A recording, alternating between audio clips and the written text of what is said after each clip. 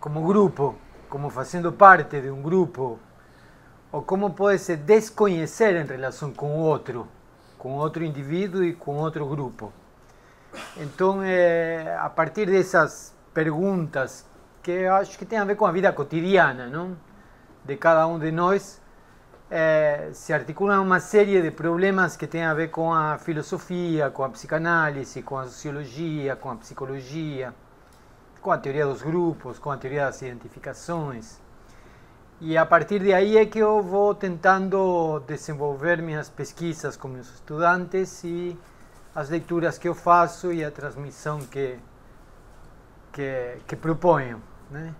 Então, um pouco o que eu queria saber, é, já que a gente vai ter um diálogo, somos poucos, dois, quatro, cinco, dois, quatro, cinco e, e o grupo da, da, da arte visual. da Marvel, eu dizer eu, porque eles são o grupo da Marvel. Mas, é, eu gostaria de saber de vocês, que, que, qual foi o motivo pelo qual vocês eh, estão em pleno janeiro, São Paulo, final de semana, na sexta-feira de janeiro, eh, vindo a um lugar onde o título tinha algo assim a ver com o desejo. Então, por que que você veio por aqui? fazendo análise há algum tempo e essa questão do desejo é uma questão que tem aparecido e se repetido e, e eu quero saber que raio de coisa é essa afinal. Ah, é isso. Você faz análise? Ah, interessante. E qual é sua, qual, desculpa, qual é teu nome? Cristina. Cristina, Cristina, qual é tua ocupação, tua, em que que você ocupa suas horas do dia? Eu trabalho na área de Tra ah, trabalha? Sim. Legal. É, era Ademar. Ademar.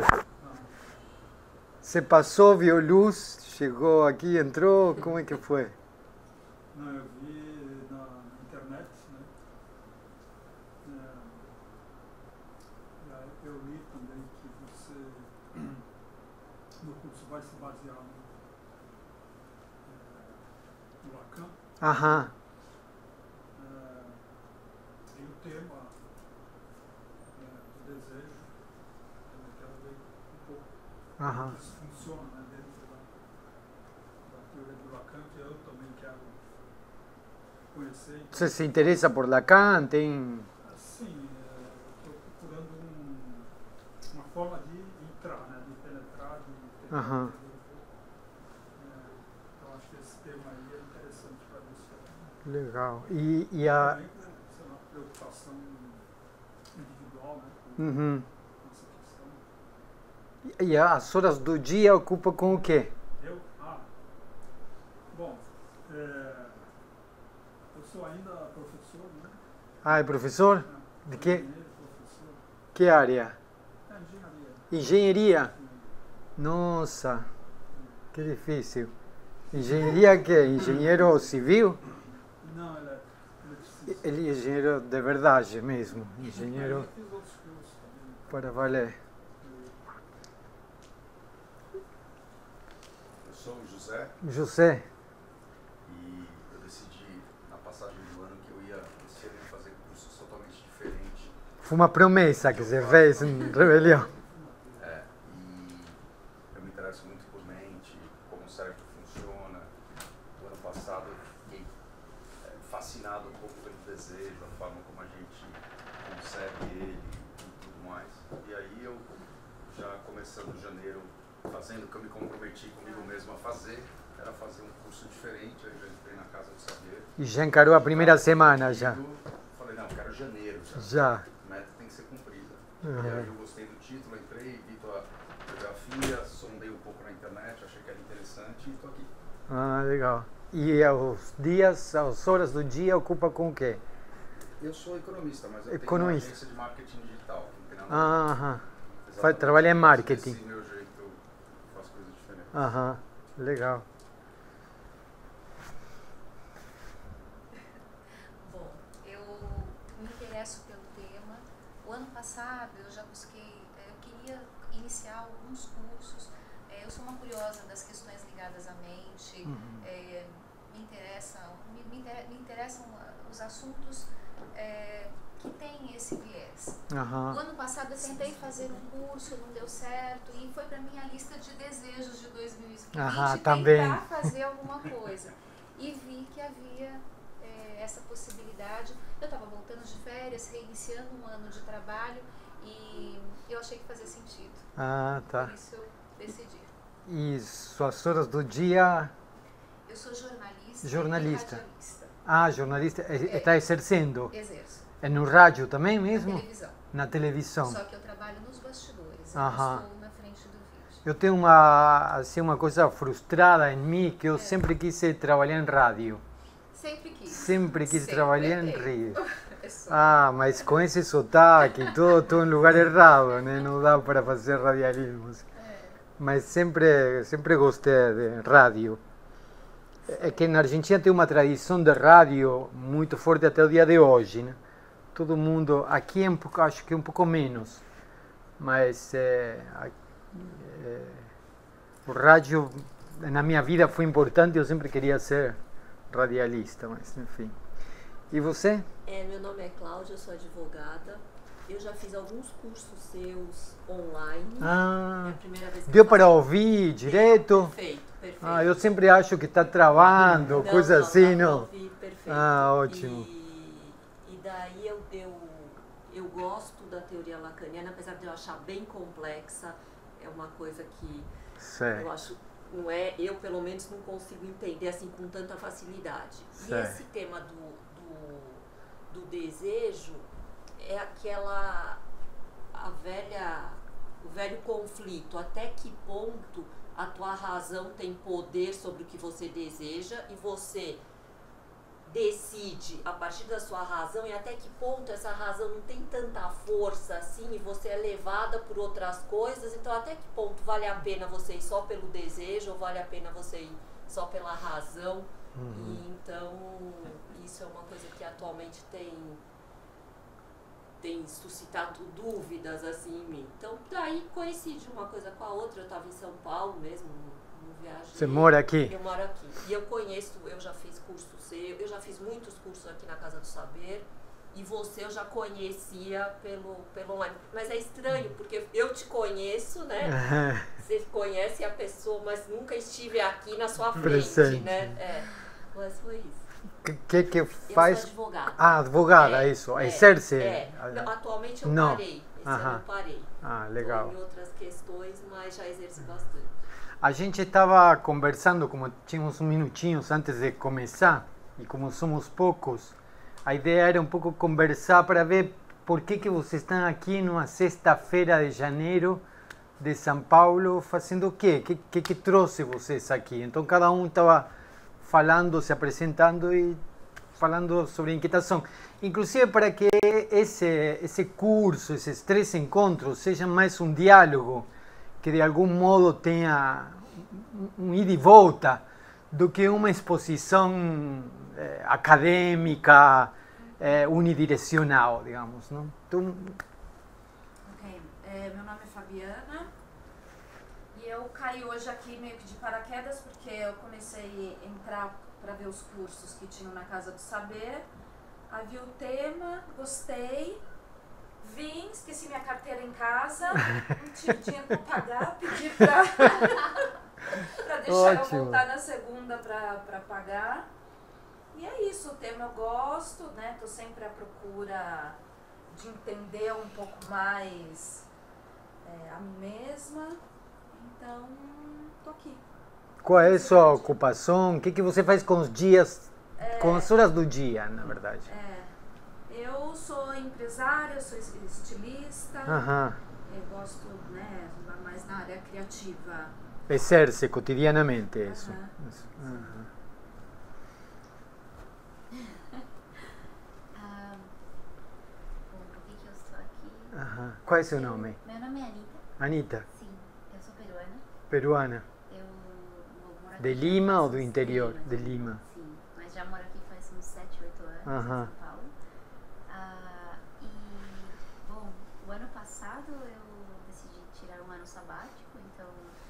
acho que isso Que fiquei bom. bastante viajando com meu marido e tal, e pensando um pouco nas coisas, em que, que a gente vai fazer. E, e o tema do. Já vim em alguns cursos na Casa do Saber e o tema me interessou bastante.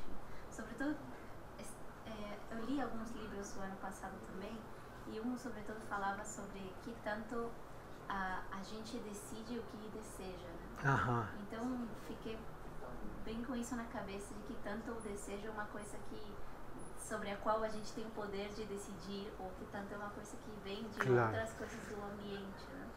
E, e me interessei bastante pelo tema, me chamou a atenção. Certo. E.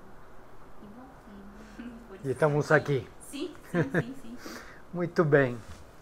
Então, acho que de alguma forma a gente está aqui impulsionado um pouco pelo desejo, outro pouco pelo querer, talvez em algum sentido também pela necessidade, algum tipo de causalidade necessária, né?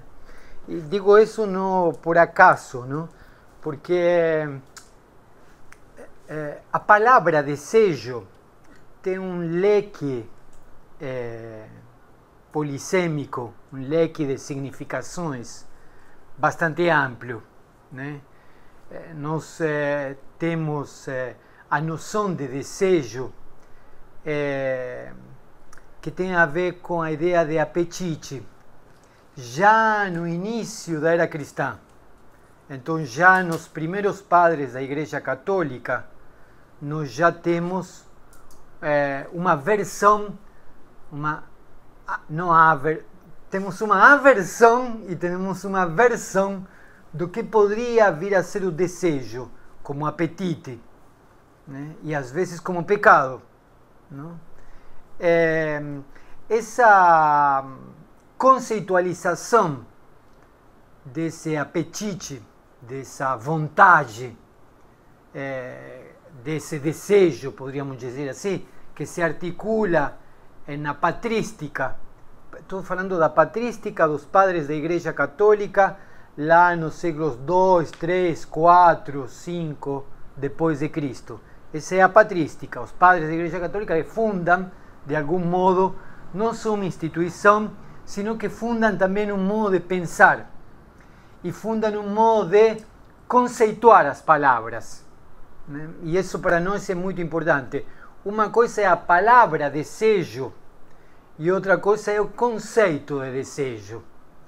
Né? Uma coisa é a definição que está no, dicionário da palavra desejo e outra coisa é o que, que nós entendemos por desejo em determinadas teorias, em determinadas cosmovisões, em determinadas religiões. Né? Essa ideia eh, latina, poderíamos dizer assim, cristã do desejo, tem uma raiz judaica e uma raiz também grega. né? De algum modo, eh, a cosmovisão, né? o horizonte de visão cristão, se constitui justamente no cruzamento dos gregos com os judeus. É a partir de aí que surge eh, eh, um modo de pensar, um modo de vida, um modo de entender-se a si mesmo e um modo de entrar em relação com o outro. E é aí que aparece a noção de vontade, de desejo, de apetite. Aí também aparece uma determinada noção de corpo, de um corpo que deseja, de um corpo que tem apetite. Né? É... Paul Ricoeur. Paul Ricoeur foi um filósofo francês eh, da segunda metade do século XX, professor da Sorbonne. Paul Ricoeur dizia que o cristianismo, e ele se considerava cristão, havia recebido como herança a ideia da culpa judaica e a ideia da hum, eh, purificação grega. Não? Eh, de algum modo, o judaísmo eh, ofereceu como, como herança para, para o cristianismo a ideia de culpa, de ser culpado. né? É, e, e o grego ofereceu as técnicas de purificação, as técnicas de hum, eh, expurgação, as técnicas de catarsis, de catarticon, de fazer catarsis, digamos, de expurgar. ¿no? O cristianismo tem algo disso, tem algo de prática de expurgação eh, e de alguma forma assumir uma certa culpa. Eh, de acordo com Santo Agostinho, nós nascemos culpados pela culpa de Adão e Eva. Quer dizer, aquela culpa de Adão e Eva já está inscrita na nossa própria natureza. Então não adianta, o fato de nascer já é, é um nascimento culpado. E é um nascimento culpado justamente porque eh, aí aparece algo que é da ordem da carne. E em, em aquilo que é da ordem da carne é que aparece o apetite, é que aparece eh, o desejo, é que aparece o pecado. Não? Por isso, para um agostiniano, é pior do que um pecado da carne é um pecado do pensamento, porque aquilo que está na ordem do pensamento está no registro da alma. O pecado da carne vai se corromper junto com a carne, então esse é errado, mas esse vai desaparecer. Outro, né? um amor pecaminoso na ordem do pensamento é pior que um pecado carnal, digamos assim, da ordem da carne. Né? Por isso que para Agostinho as crianças precisavam ser, é, como chama? Batizados. Batizadas, exatamente. Porque se não eram batizadas, iam para o inferno, diretamente. Morria ia diretamente para o inferno, não tinha salvação. Né? De aí aparece a ideia de salvação. A ideia de salvação no cristianismo aparece pela possibilidade de expurgação pela possibilidade de redenção. Não? É logicamente que Agostinho não é o único é, representante da teologia cristã em relação com a noção de desejo, de desejar. Tem um livro que é fantástico, né, que são as Confissões de Santo Agostinho. Se alguém se interessa por, por esse tema, nesse momento específico, acho que as confissões de Santo Agostinho são as mais é, interessantes. É, a época medieval, quer dizer, a época na qual é, o cristianismo se desenvolveu, digamos assim, em Europa, como, como um modo hegemônico de pensar, digamos, como um horizonte de pensamento y lembremos que eso en Europa, de Portugal até no máximo a Turquía en algunos momentos. ¿no? O resto do universo não pensava dessa forma. Mas nós tomamos isso por uma herança é, de tradição europeia. Não? É, digo, é, um, a época medieval que se desenha nesse mapa de Europa, nesse segmento de Europa, eh, dominada por diferentes teologias eh, cristãs, há teologias cristãs que eh, reivindicam o corpo e reivindicam também o desejo. Há teologias cristãs que condenam o corpo e, portanto, condenam também o desejo. Não? É, não digo todas, mas muitas delas têm como fundamento filosófico Aristóteles e Platão.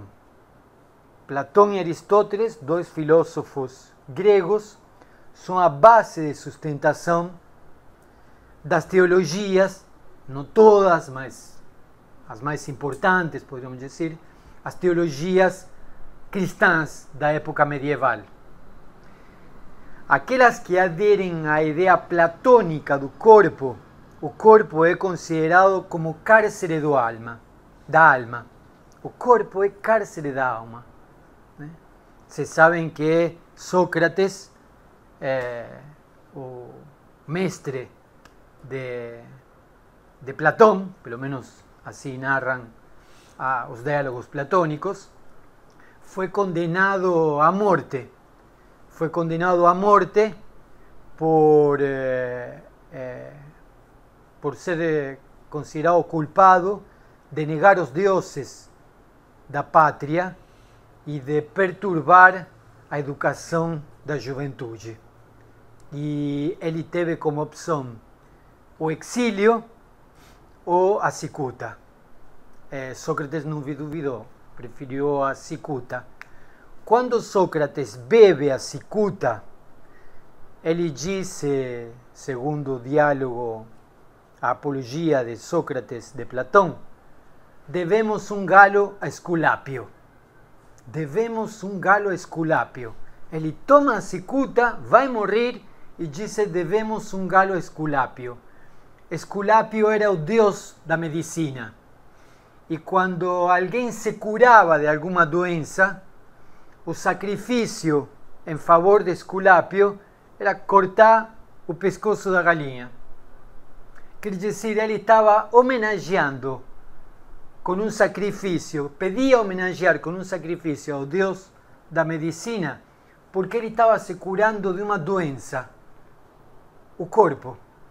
O corpo era considerado cárcere da alma. Né? Alguns platonistas, alguns estudosos do, do pensamento de Platão, entendem que aquela ideia da alma é como uma ideia de reencarnação da alma em uma roda de reencarnações vem da Índia. Aparentemente, essa ideia socrática da alma, de encarnar e reencarnar e voltar a encarnar, vem da Índia. De acordo com outro diálogo de Platão, Platón entende que cuando que alma básicamente reencarna. Platón entiende que alma básicamente reencarna y que o bem não é reencarnar, o bem é sair da roda de reencarnações. Não? É interessante isso. O bem, o melhor que nós podemos fazer é não aparecer mais por aqui. Essa é a ideia de Platão e a ideia de Sócrates. Isso é o melhor que nós podemos fazer na nossa vida, não aparecer mais por aqui. Agora, se nós não nos comportamos bem, nós vamos voltar a aparecer por aqui. E vamos voltar a, a sofrer todos os sofrimentos que sofrem, perdão pelo, pela reiteração, mas quero ser incisivo com isso, é, que sofrem todos os seres cincentes do mundo. Então, é, o sujeito, o indivíduo, devia fazer méritos para poder ir é, reencarnando em coisas que me tirassem da reencarnação. Muito parecido com o budismo, muito parecido com o hinduísmo. O espiritismo, que também tem a mesma raiz. Mas parece haver uma raiz hinduísta que é absorvida pelo budismo na Índia, que na mesma época está sendo absorvida pelo platonismo. Só que Platão entendia o seguinte: se você fizer tudo certo, tudo. Se você fizer nada, se você fizer tudo errado, se você fizer coisas erradas com os outros, se você eh, se comportar mal com o vizinho, eh, se você sacaneia os outros, eh, você morre e reencarna numa barata, sei lá, num ornitorrinco, num marsupial, não sei. Agora, se você fizer tudo certinho, isso é de acordo com, com Platão. Se você fizer tudo certinho, se você fizer as coisas certas, se você se comportar bem, você reencarna na forma de filósofo. Porque o filósofo era assim a última forma de reencarnação, depois você saía de lá. Né? Agora, saía de lá se você, como filósofo, fazia méritos também para sair de lá, não? Senão, voltava à forma de cachorro, barata, eh, pernilongo, sei, alguma coisa assim. Então, aí há uma ideia de desejo associada a uma ideia de corpo e associada a uma relação de corpo e alma, não? Então, eu estou contando isso para mostrar que a história do desejo não começa agora. Nos viemos nos perguntando, não essa semana, sino há é, uma tradição bastante extensa. É na época moderna, e estou chamando de época moderna os anos 1600, 1700, 1800, aparece outro tipo de concepção. E nos anos 1600 aparece um filósofo francês eh, bastante famoso que se llama René Descartes. Y René Descartes escribe un libro muy importante que yo recomiendo a todos a lectura porque es pequeño, da para leer en el final de semana, que se llama Discurso do Método.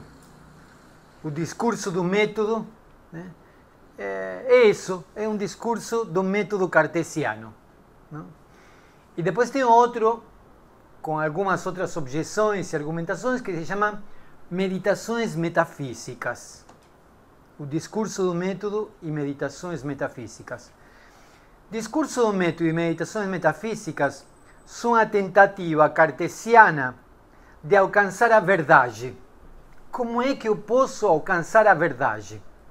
Então ele disse: Eu vou tentar chegar a uma intuição que me seja possível de ser dita verdadeira e a partir de aí eu desenvolve um método. Não é o caso hoje de entrar em mérito de eh, como é que Descartes chega lá, mas todo mundo conhece a frase penso, logo existo, que é a intuição, é a, é a frase última, né, a partir do qual Descartes desencadeia todo esse, eh, essa sucessão de pensamentos. Mas Descartes então escreve un tratado un método, podríamos decir así.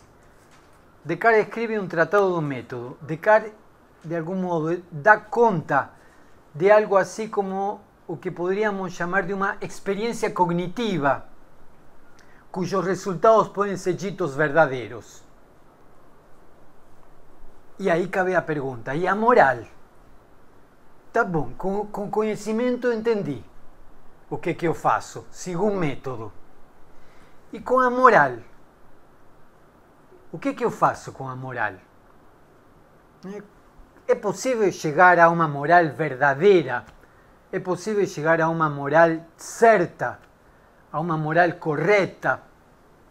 Né? Aí Descartes, dos seus livros, escreve: diz, Eu vou dar uma ideia de uma moral provisória. E aí ele escreve quatro, cinco coisinhas, diz: Olha, eu vou levar minha vida até eu não conseguir saber como é que de fato eu devo levar adiante minha vida, eu vou me guiar por quatro ou cinco regras. E ele propõe uma moral provisional, digamos assim, de quatro ou cinco regras. Mas eh, deixa isso de lado, digamos assim. Né? E se dedica a quê? Se dedica a um tratado das paixões da alma en vez de se dedicar a uma moral, ele se dedica a um tratado das paixões da alma. Eu sempre lembro isso em todos os meus cursos, que o Tratado das Paixões da Alma, é assim que se chama o livro, o Tratado das Paixões da Alma, é, foi escrito por ocasião de um pedido de uma princesa. Uma princesa amiga de Descartes está triste e chega para o filósofo e diz: Eu estou triste, René. Como é que eu faço para curar minha tristeza? E aí Descartes escreve um tratado das paixões da alma para curar a tristeza da princesa. Né? É bonito isso, não é? Eu acho, sempre digo a mesma coisa, mas é, gosto de repetir. Eu acho que deve ser o motivo mais nobre pelo qual escrevi um livro. Se tem um motivo nobre para escrever um livro é escrever um livro para poder curar as tristezas da princesa. Né? Ele não curou a tristeza, a princesa continuou triste. Mas pelo menos temos o livro. Né? Não, alguma coisa ficou para nós. Não ficou para a princesa, mas ficou para nós um tratado das paixões. E lá ele mostra as paixões do corpo e as paixões da alma.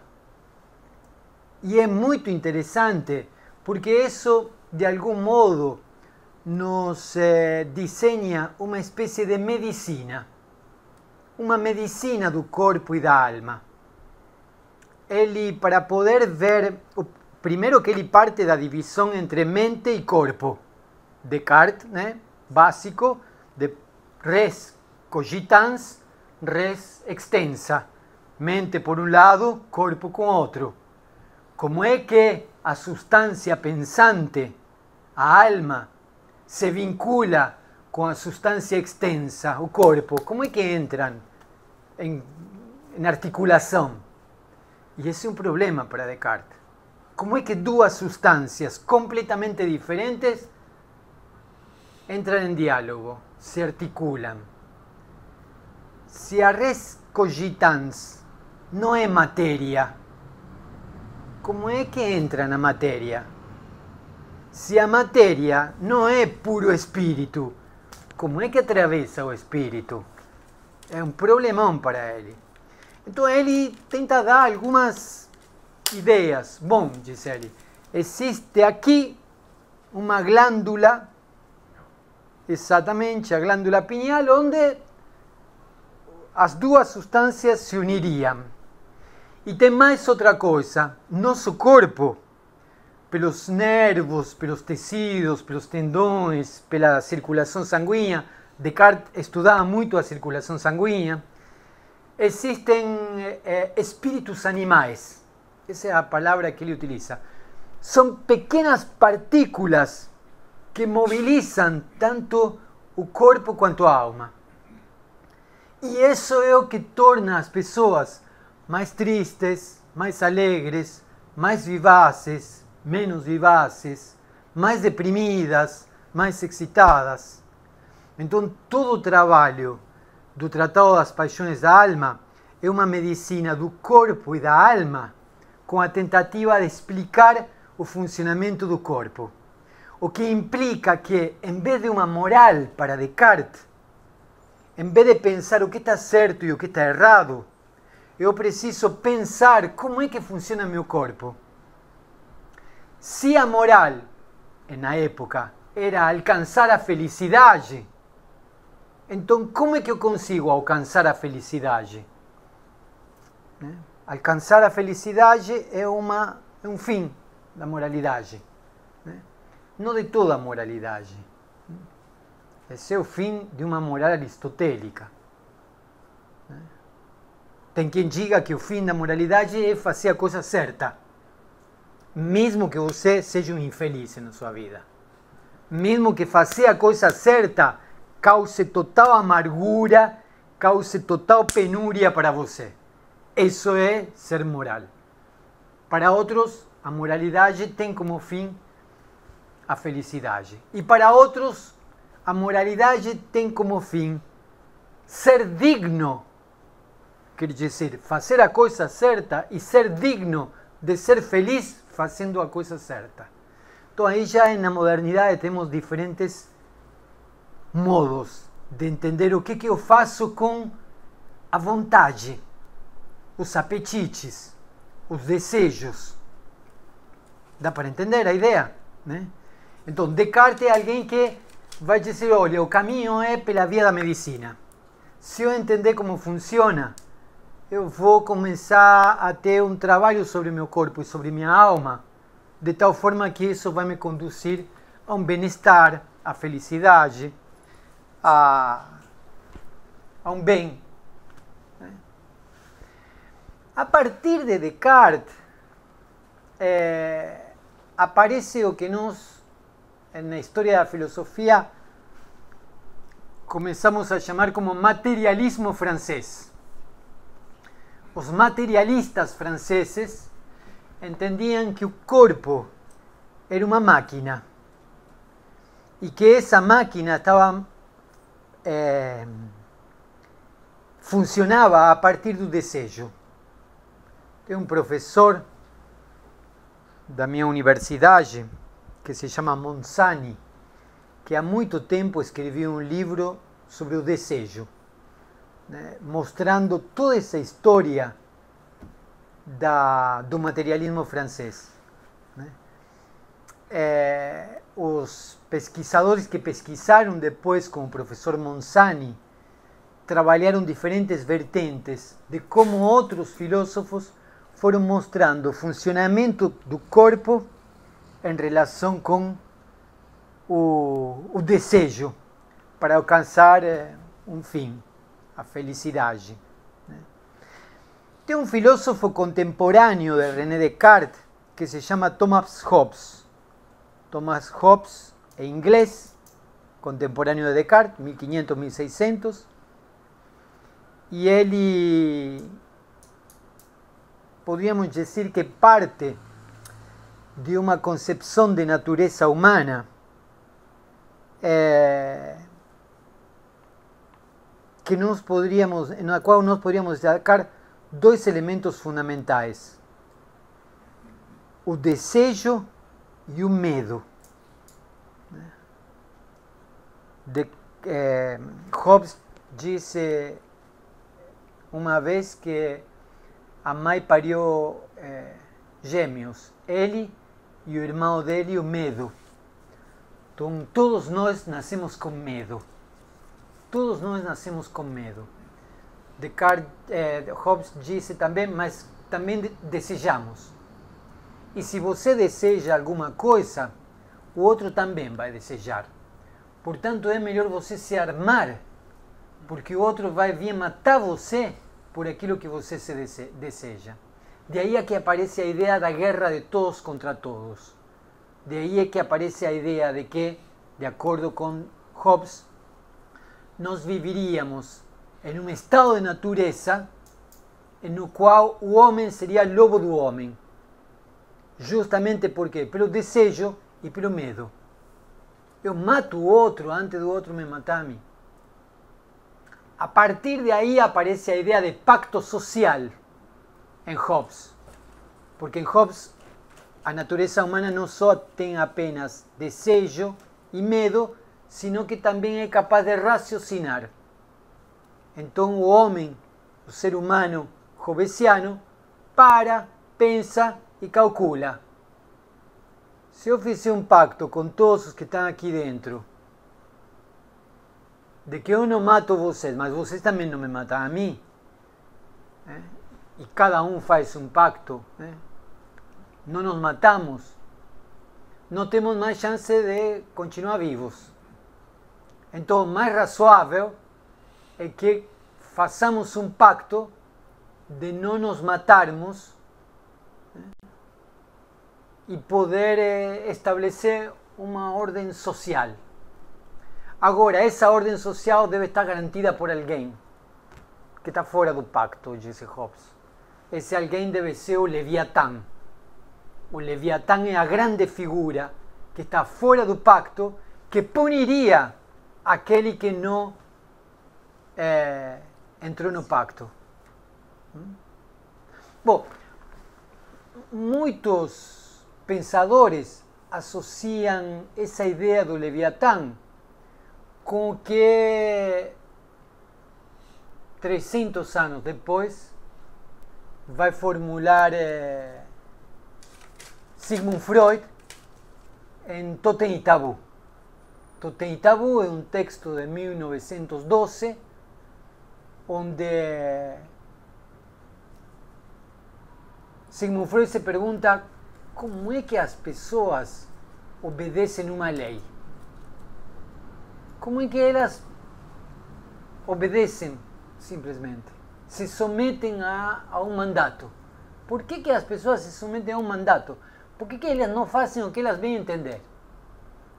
Então, ela, eh, eh, perdão, Freud vai buscar na história da antropologia alguns elementos que den indício a por que, que alguém obedece. Alguém pode obedecer uma lei porque está sendo ameaçada por um revólver. Se eu coloco uma pistola na cabeça e digo escreva o que eu vou falar agora, é óbvio que por que, que você vai obedecer? Porque está ameaçada de morte. Mas por que, que nós obedecemos leis mesmo sem estarmos ameaçados? Por que, que nós pautamos nosso comportamento cotidiano, inclusive, sem estarmos ameaçados? Tem regras de conduta cotidiana que não, não precisamos de um policial ou de uma autoridade ou de alguém que nos diga o que fazer nesse momento. Simplesmente fazemos. Porque obedecemos a um mandato que podíamos dizer assim, está internalizado. Né? E como é que se internaliza esse mandato? Como é que pela primeira vez alguém obedeceu sem estar ameaçado? Aí Freud disse, bom, não tem elementos antropológicos que nos deem eh, empiricamente qual é a origem da lei. Qual é a origem da lei? Né? A antropologia se deflagrou sobre, se, se debruçou sobre esse tema, também a literatura, né? se debruçou sobre esse tema. Quem, quem mais escreveu contemporâneo de Freud sobre esse tema foi Frank Kafka. Né? Acho que Kafka ainda deve ser pensado é, sobre a relação entre, entre o sujeito e a lei. Não só no processo e perante a lei, também em Carta ao Pai. Né? Carta ao Pai é um excelente livro para pensar isso. Bom, Freud vai dizer que de algum modo podemos contar um mito de origem. Havia uma vez uma horda com um pai que ao mesmo tempo que protegia a cria, proibia essa cria de copular com as fêmeas. Então, ao mesmo tempo que era protetor, era repressor.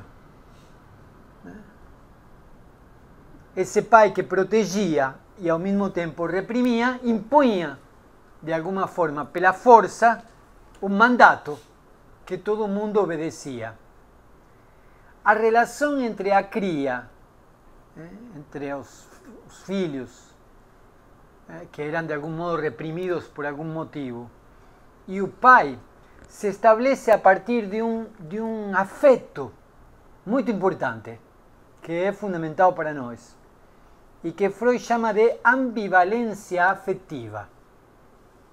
Há uma relação de ambivalência afetiva entre o filho e o pai há uma relação de ambivalência afetiva, no sentido em que, ao mesmo tempo que ama, odeia. De acordo com a psicanálise, todas as nossas relações entre neuróticos comuns eh, está atravessada pela ambivalência afetiva. Não todo é amor, não todo é ódio. Tem um pouco de ódio e um pouco de amor. Né? inclusive nas relações de mãe, de pai para filho. Né? Quem é mãe, quem é pai e tem filhos, sabe que os filhos são uma coisa fantástica. Eu amo meus filhos, mas em determinado momento eu quero matar eles. Né? E eu tenho suspeitas bastante, bastante boas de que eles também querem me matar, muitas vezes. Né? E é nessa ambivalência afetiva é que se construi a relação com eles. Bom, de acordo com Freud, nesse mito de origem da lei, a ambivalência afetiva fez com que a cria matasse o pai por ódio.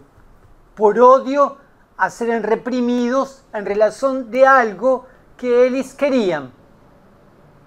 Então eles matam o pai por ódio ao pai, mas o pai retorna morto na forma de um totem, impondo de novo a lei, por amor. Aí aparece, disse Freud, a lei do incesto. a lei do incesto não é outra coisa que o retorno do pai morto, dizendo o que deve e o que não deve fazer. Somente que agora deslocado para um símbolo totêmico. Então, toda a ordem social não é outra coisa que o deslocamento da obediência ao pai a uma estrutura simbólica. Nós obedecemos ao pai na forma de uma estrutura simbólica. A eficácia da estrutura simbólica se dá justamente pela obediência que nós temos em relação a esse pai. Quer dizer, substituímos o pai real por um pai simbólico. A coisa também não para aí. Nós substituímos um pai real por um pai simbólico, um pai de carne e osso por um pai de estruturas, ou também um pai encarnado, o presidente, o chefe, o líder do grupo, o professor, o patrão, né? alguém que se coloca na posição de mando. Podíamos, poderia ser pensado também muitas vezes como esse substituto do pai, ao qual obedeço, mas também eu consigo depositar todas as minhas frustrações nele. E isso é fantástico para a gente. Né? Não tem nada melhor do que ter um álibi. A culpa, como disse o Mero Simpson, a culpa é minha, eu boto em quem quiser. Então eu boto no pai, que é, a culpa é dele. Ele pode fazer tudo. Ele é o dono de todo saber, ele é o dono de todas as fêmeas, ele é o dono de todo e eu nada. Eu não posso fazer nada. Né? Então, todas as minhas frustrações em relação com meu objeto de desejo não é outra coisa que o produto da proibição do mandato paterno. Ele pode, eu não posso nada. Né? Por quê? E porque eu tenho que obedecer. De aí é que é interessante que em psicanálise a gente não só avance no reconhecimento da própria castração, quer dizer, da própria limitação, sino no reconhecimento da castração do outro, quer dizer, do pai. O pior não é se descobrir um simples mortal, imbecil, limitado, com todas as idiotices que a gente tem. O pior problema é quando a gente descobre que o pai também é. Que o outro também é. Esse é o pior de todo. Quando você descobre que seu pai também é um banana, é um, uma pobre figura, que tem medo, que também obedece, que também é um frustrado, isso para um neurótico é intolerável. Então, tudo que o neurótico quer é botar essa figura paterna em um lugar de poder, em um lugar de saber, em um lugar de não castrado. Não? Para quê? Para que eu não tenha que me haver com meu próprio desejo. Porque o dia que meu pai seja um pobre infeliz, aí o problema que eu tenho com o desejo é todo meu. Não tenho mais álibi não é a culpa do outro. Não? Aí se desfaz a ideia de culpa. Esse é um elemento fundamental da psicanálise. Não? Enquanto no cristianismo, ou em certo cristianismo, nós cultivamos a ideia de uma culpa, na psicanálise nós dissolvemos a ideia da culpa. Não tem culpado, gente. Não tem culpado. A culpa é um álibi. A culpa é uma forma de disfarçar. A, for, a, a culpa é uma forma de a gente não ter que se haver com aquilo que desejamos. Então aí aparece a ideia do que seria algo assim como desejo. Por enquanto, parece que o desejo então tem uma história. Né?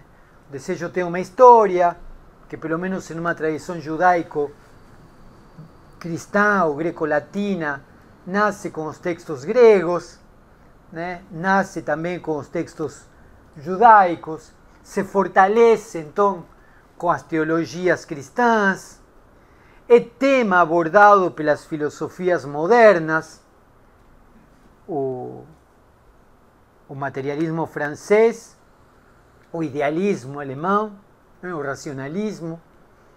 Dentro do materialismo francês há uma história muito interessante que poderíamos pensar que surge né, é, com as máquinas humanas do século XVI e termina no Marquês de Sade. Né? O Marquês de Sade é a, poderíamos dizer, o ponto extremo de um materialismo consequente.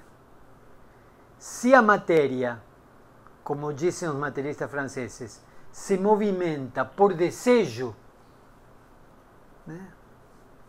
e isso é o que definiria o materialismo francês, nosso corpo se movimenta por apetite.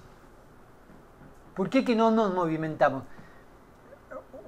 Era estudante universitário, era estudante de, há muito tempo atrás, de graduação, e fui na, no exame na Argentina você tem que fazer a disciplina para ter direito a ter um exame final.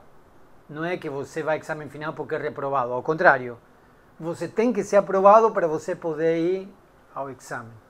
A disciplina se dá com um professor e o exame se dá com três professores que muitas vezes você nem conhece.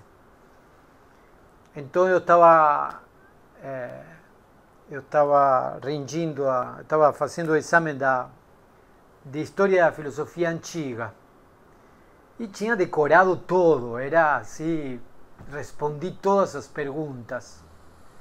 E a última pergunta disse o professor, bom, está tudo muito bem, agora para finalizar, por que a galinha cruza a rua? E você sai daqui. Digo, com esse, eu fiz essa cara. Como. Estou num curso de filosofia, estou falando de filosofia antiga, e esse sujeito me perguntar por que, que a galinha cruza a rua. Sim, sim, porque, Arist... porque de acordo com Aristóteles a galinha cruza a rua. Pior ainda, e como eu sei que, Arist... que Aristóteles pensa das galinhas. Né? E aí disse, Pense, disse, o que, que tem do outro lado da rua? O que, que tem do outro lado da rua? Galinha? Rua? Então, eu não disse galo, naquela época não estava tão tomado pela psicanálise, senão teria dito um galo. Digo, comida. Então, a galinha cruza a rua por apetite, disse. É por isso os corpos se movimentam por apetite. Um galo, milho. Então é por isso que os, os, os corpos se movimentam. O próprio corpo se movimenta por apetite. Toda a organização desse aparelho se movimenta por apetite. Por isso que o desejo é fundamental para o movimento do corpo em si e desse corpo em relação com outros corpos. Né? Bom, o materialismo francês de algum modo toma isso. O corpo se movimenta por apetite, se movimenta pelo desejo. Só que para o materialismo francês é, aparece o problema da moralidade. Até onde nós levamos o desejo?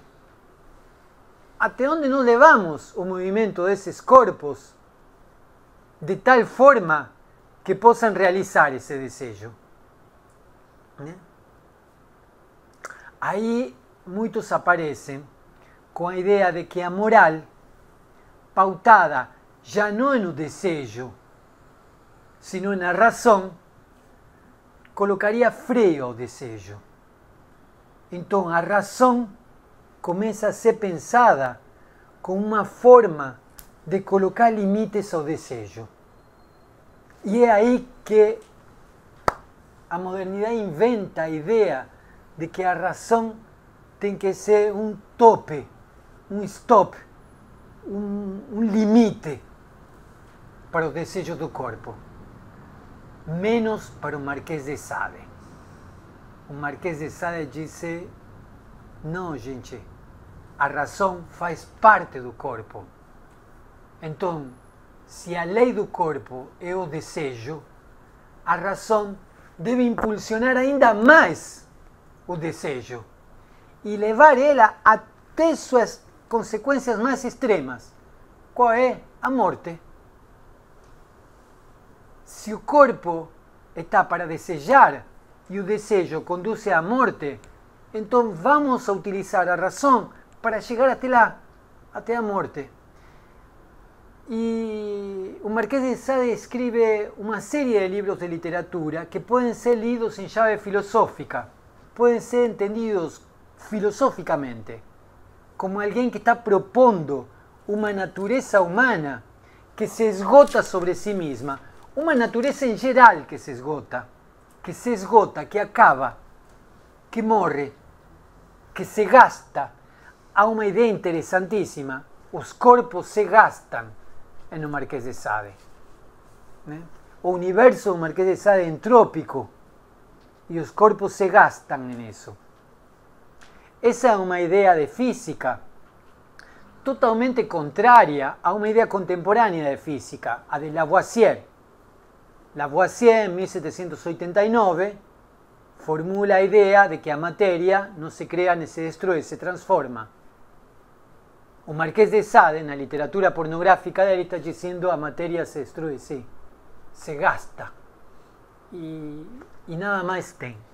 120 dias de Sodoma e Gomorra, um livro que eu conheço uma pessoa que leu até o final, mas não, eu não li até o final, porque são 120 dias de Sodoma e Gomorra, são 120 dias de orgia. Né? É interessante também ver isso. O Marquês de Sade não é um filósofo libertino. A literatura dele não é libertina. O Marquês de Sade não é um bom vivant. O Marquês de Sade está levando ao extremo a ideia de que o corpo é uma máquina e que é preciso que esse corpo, que é uma máquina, faça máquina com os outros corpos em uma orgia. Por isso há uma diferença fundamental entre o que aqui em Brasil se chama de suruba e o que, o que, o que Sade chama de orgia. Suruba aparentemente seria uma festa, uma hora está com um, outra hora está com outro, outra hora bebe, outra hora faz outra coisa. A orgia sadiana é uma máquina onde o, o, o buraco de um tem que acoplar com a parte do corpo do outro e o que expele o corpo de um tem que entrar no corpo do outro. Assim, até que a própria matéria se consuma e se gaste até o final. Então, uma das regras da, da orgia sadiana é que ninguém pode se apaixonar. Por quê? Porque o amor interrompe a orgia. Se alguém fica de bem um com o outro, acabou, acabou a máquina orgiástica. E na máquina orgiástica não existe sujeito, existe pura máquina, não? onde o corpo se desgasta. Então, 120 dias de Sodoma e Gomorra é isso. É, uma máquina que se gasta até o final, até a morte. Né? Aí está, me parece que de algum modo, a forma mais fina do que seria o sadismo. O sadismo é reduzir o outro e se reduzir a si mesmo a objeto de gozo, até o final. E aí está a diferença entre o sadismo e a fantasia sádica. E na fantasia sádica não tem gasto. E no sadismo, o gasto é até o final. O sádico explora o outro até o final, como puro objeto excremencial. A fantasia sádica brinca de. Quando eu era criança, eu assistia muita, muito sadismo na televisão. Acho que todos vocês aqui também devem ter assistido diariamente. é, Tony Jerry, o Papaléguas e, e o, como chama? E o Coyote. O Papalégua e o Coyote, Tony Jerry, são relações, é, é, o Patolino, né? Patolino aparece, descarrega uma espingarda na cara do porquinho, plaf, arrebenta. Em outra cena, pronto, outra vez está todo mundo pronto para continuar brincando na cena. Né? Aí há uma fantasia sádica. Aí há a fantasia de que eu posso fazer qualquer coisa com o outro, porque não tem gasto. Né? Isso é o que Lacan, no seminário 7, vai chamar de fantasia sádica do neurótico. Né? O neurótico é aquele que leva o sadismo ao registro da fantasia. O sadismo, o sadomasoquismo, vai se falar depois. Né? Então aí nós temos, poderíamos dizer, é, um corpo que tem apetite. E esse corpo que tem apetite pode ser articulado do ponto de vista da psicanálise através do desejo, mas também através do gozo. E depende da relação que se estabeleça com o outro e consigo mesmo, aparece o gozo e aparece o desejo. Dá para entender mais ou menos? Estou tentando entrar no seminário 7 de Lacan. Lacan vai retomar a ética da psicanálise como uma ética do desejo a partir da história da filosofia. Vai tentar dialogar com alguns elementos do cristianismo, da tradição judaico-cristã, para depois colocar de alguma forma aquilo que ele entende como desejo, né? entre a lei e o gozo. Eu proponho que a gente faça um pequeno intervalo de cinco minutos para a gente poder tomar café, já que a gente tem o café aqui, e aí depois continuamos. Certo? Está sendo claro por enquanto?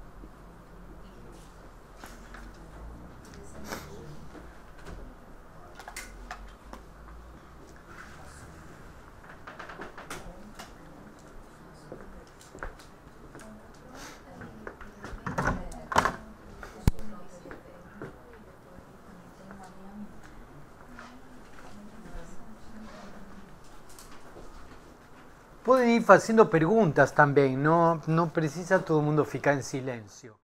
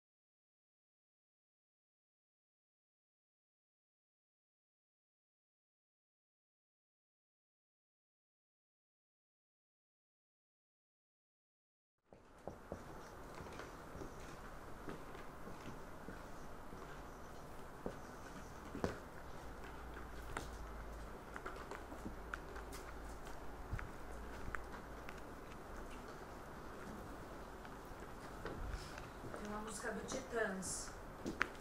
que É assim? Desejo, necessidade e vontade.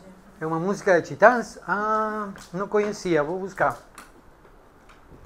Então, porque tem tudo a ver com a psicanálise isso. Há uma ordem que é a ordem da necessidade, poderíamos dizer. né? A necessidade de, uma, de um organismo vivo se hidratar, por exemplo. Se não se hidrata, morre. Então, é, é, para uma célula, em uma determinada situação, de um organismo vivo poder manter sua função, precisa se hidratar com água. Então, é, há algo que é da ordem da necessidade. Há algo que é da ordem da vontade. Eu posso ter vontade de não tomar água, senão Coca-Cola. Ou vinho tinto do Chile. Né? Não é a mesma coisa. E há outro registro, que é o registro do desejo.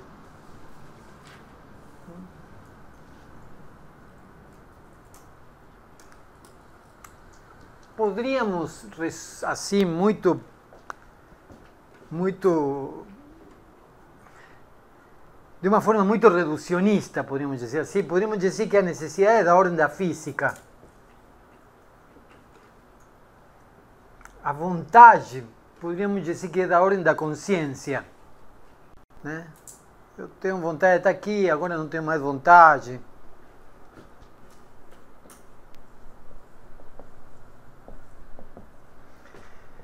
Agora, para a psicanálise, o desejo já não é nem da ordem da física, nem da ordem da consciência. Aí, para a psicanálise, o desejo tem a ver com o inconsciente.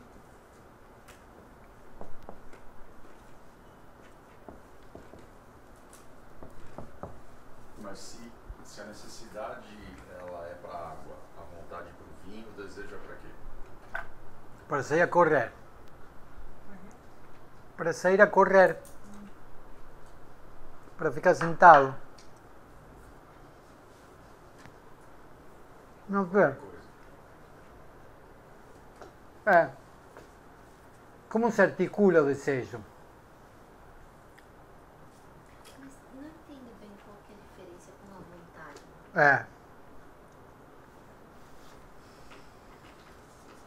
Se eu tenho vontade de tomar, se eu tenho a necessidade de tomar água é para não morrer. Se eu tenho vontade de, em vez de tomar água, tomar vinho, é porque eu gosto de vinho. Eu gosto de vinho. Agora, onde é que está o desejo em cima disso? É. Como é Entre que a diferença. O desejo aparece na diferença entre querer e desejar. Tem coisas que eu quero, mas não desejo. Tem coisas que eu desejo, mas não quero.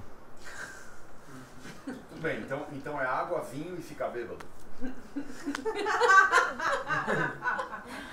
Isso é uma matéria para fazer análise. Isso é um bom início da análise.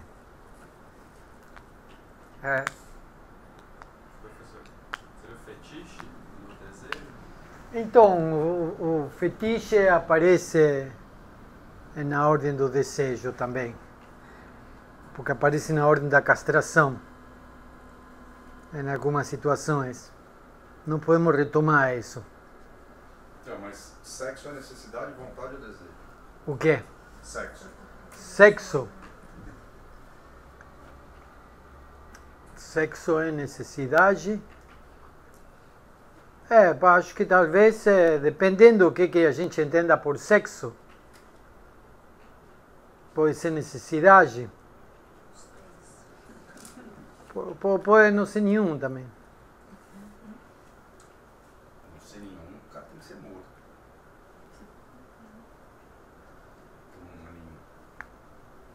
É. Pode morrer. Quem diz que não pode morrer? Pode ser, pode ser pura pulsão de morte. Pode ser pura pulsão de morte. Há um mito, há, uma, há um princípio metafísico que se manteve eh, nas ciências biológicas no século XIX, que era que 18 e em algumas formas de darwinismo também, que a vida quer viver. Até a origem das espécies. Quando Darwin começa a ver a história natural, a origem das espécies, vê que a vida não quer nada. Não quer nem viver, nem morrer. Não quer nada. A, a, a vida foi um acaso. A, a, as diferentes espécies foi feita por mutação por acaso. Nós estamos vivos por acaso. E em algum momento a vida vai parar por acaso. Se a gente leva a sério a origem das espécies. Né? Quer dizer, Darwin, o livro de Darwin, da origem das espécies, é fantástico no sentido de horroroso, porque vai contra tudo o que o século XVII e XVIII pensava, de que a natureza tinha uma origem e uma finalidade, de que cada um de nós aqui tínhamos uma missão, de que nós éramos o centro da criação e, portanto, também o centro do universo. Né? É, Freud fala de três feridas narcísicas. Freud fala da herida narcísica copernicana, onde Copérnico mostra que a Terra não é o centro do universo, sino que a Terra gira em torno do Sol né? e que tem outras coisas. Então aí há uma primeira ferida narcísica. A ideia é que nós somos o centro do universo. A segunda ferida narcísica é a de Darwin. Se acreditava de que nós somos feitos à imagem e semelhança e de que a criação é feita para nós. Darwin disse, gente, tem uma péssima notícia. Tem um monte de coisa, tudo está mudando, vai mudar, vai continuar mudando.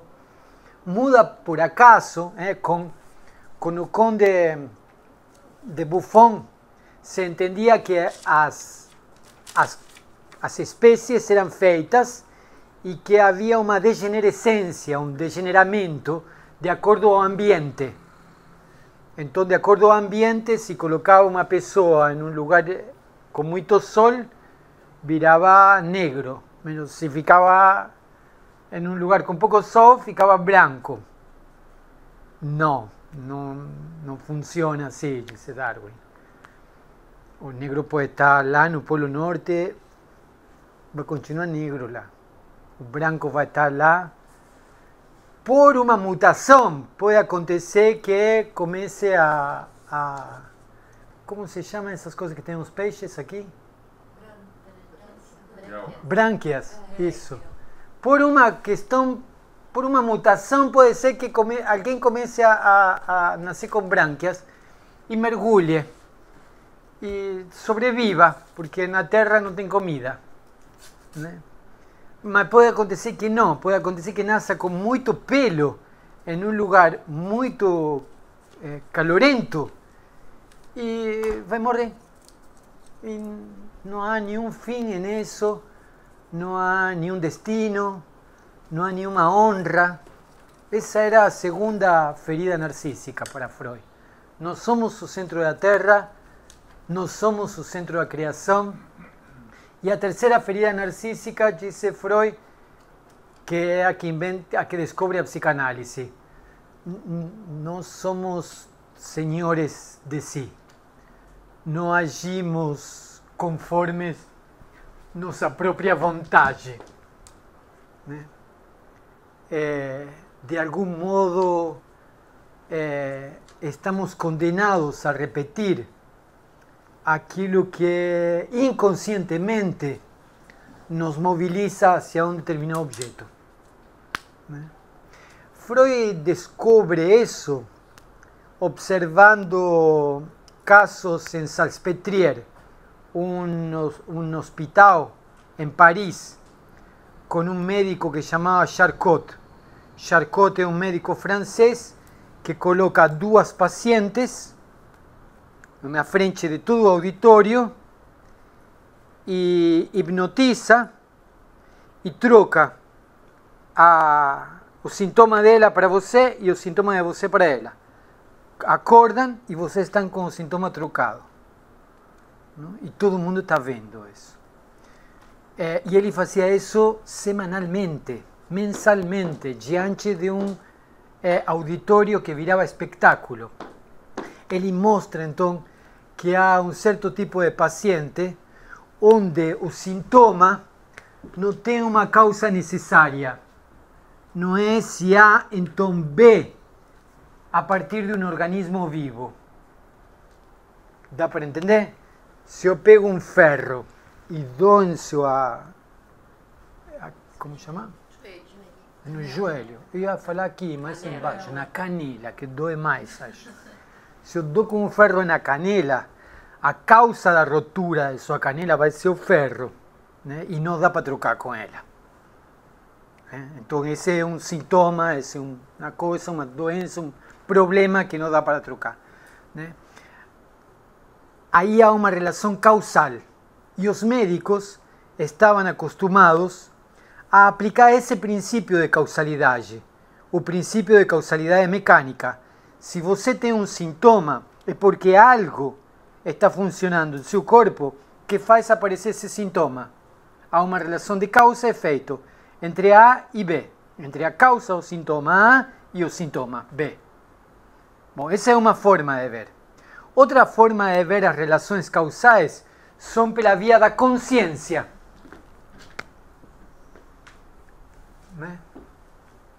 Vamos supor que eu é, perco a voz. Para um médico do século XIX, eu posso perder a voz por dois motivos. Não falo. Ou eu não falo porque tenho algum problema nas cordas vocais, em algum, no esôfago, tem alguma causa física. Ou eu não falo porque eu não quero falar. Então tem uma causalidade física e uma causalidade psíquica consciente. O médico do século XIX entendia que era assim. Ou era uma causa física ou era uma causa consciente. Charcot está mostrando de que as pessoas que ele está atendendo não respondem em sua sintomaticidade nem à consciência nem à causa física. As pessoas perdem sua fala, ficam paraplégicas, esquecem sua língua materna, começam a ter hidrofobia, começam a ter eh, eh, fobias de diferentes tipos, não porque querem, mas também não por uma causa natural, poderíamos dizer assim. Então, esse tipo de sintoma foi denominado de histeria. E a medicina caracterizava a histeria como um fingimento, como uma mentira como alguém que estava querendo aparecer. Como está querendo aparecer, está querendo chamar a atenção, então. E talvez seja isso. Talvez esteja querendo aparecer. Talvez realmente esteja querendo chamar a atenção. Mas não de um modo consciente, sino, vai dizer Freud, inconscientemente. Então Freud inventa outra teoria da causalidade a causalidade já não física, já não psíquica consciente, sino a causalidade psíquica inconsciente. Há uma determinação inconsciente que conduz o sujeito até uma determinada sintomatologia. Então aparece aí a ideia do inconsciente. Aparece a ideia do inconsciente de diferentes formas. Freud começa a falar de inconsciente lá no, no, no, nos anos 90, 1890 e tanto. Né? E formaliza esse conceito aos poucos, né? até chegar ao texto de 1915, né? o inconsciente, nos textos técnicos de Freud. Mas durante todo esse período, então, Freud vai introduzir a hipótese, diz ele, do inconsciente. Esa hipótesis do inconsciente está articulada a un dispositivo conceitual. quer dizer, não podemos ter a palavra inconsciente. Esse sujeito é um inconsciente. Quer dizer, quando eu digo esse sujeito é um inconsciente, porque ah, faz qualquer coisa, né? Bom, modo coloquial de falar inconsciente. Havia utilizações filosóficas do conceito do inconsciente como algo escuro. Já desde a época de Plotino, Plotino estamos falando de, antes da patrística. Já desde aquela época, Plotino já falava de inconsciente. Na época moderna, aparece o termo em alemão, unbewusst, inconsciente. Aparece em Leibniz, aparece em Kant, em Immanuel Kant, mas aparece como aquele lado escuro da razão. Né? Pascal, Pascal disse, né? O coração tem razões que a razão desconhece, né? apontando para algo assim como um inconsciente. O coração tem razões que a razão desconhece. Pelo menos é mais ou menos essa a tradução de Pascal. Né? Quer dizer, Pascal apunta para algo. Freud inventa o inconsciente na medida em que ele elabora um dispositivo conceitual. No início, no início, nos anos 1895 até 1900,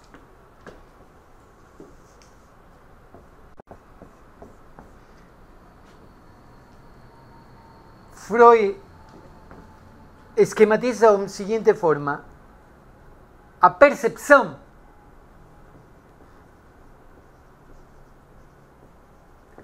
só se torna consciente na medida em que passa pelo inconsciente, o pré-consciente, até chegar ao consciente. Toda percepção primeiro passa pelo inconsciente, disse Freud. Depois passa ao filtro do pré-consciente e depois só se torna consciente.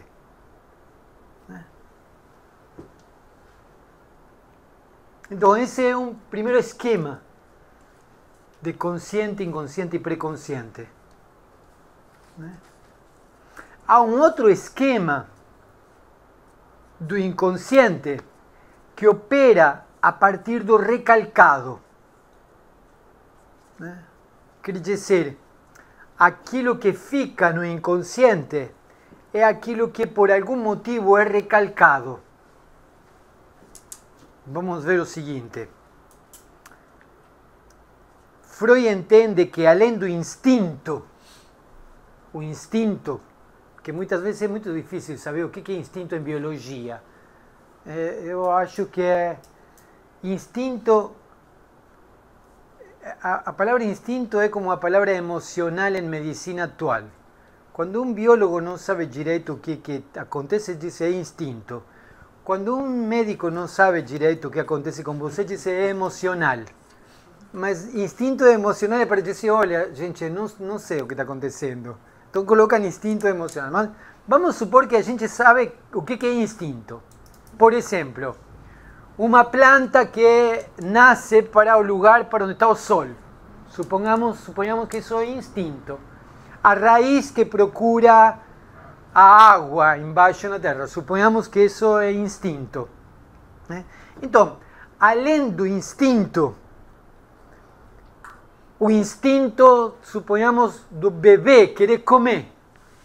Né? O instinto do bebê querer comer faz com que ele abra a boca e berre. Isso poderia ser pensado como instinto. Além do instinto, está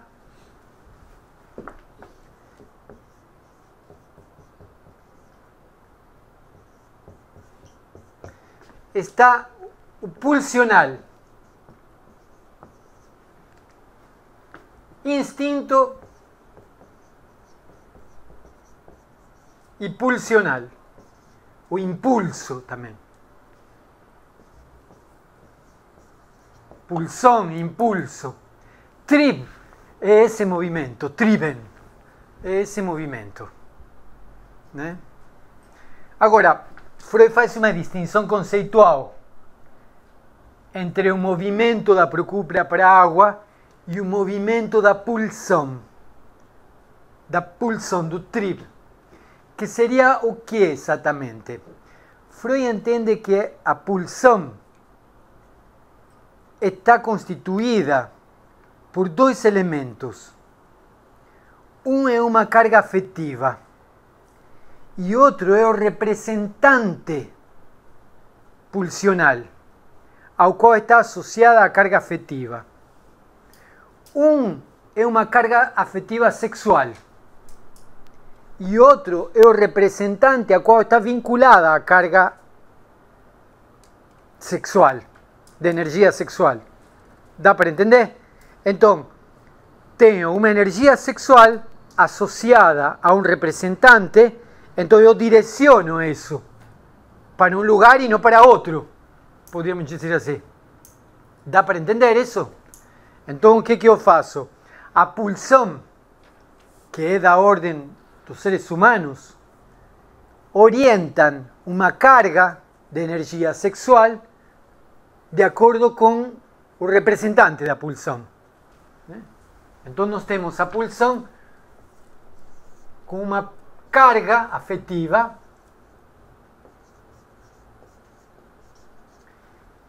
e uma parte com o representante da pulsão. A ideia, poderíamos dizer assim. Então tudo isso sai do corpo, do meu corpo, do seu corpo, do seu corpo, e se dirige ao objeto. E descarrega no objeto. Então aí a pulsão se satisfaz. A pulsão para Freud então tem uma fonte, uma força, né? uma meta e a satisfação. Certo? No caminho, pode acontecer que por algum motivo esse representante pulsional aparece como proibido.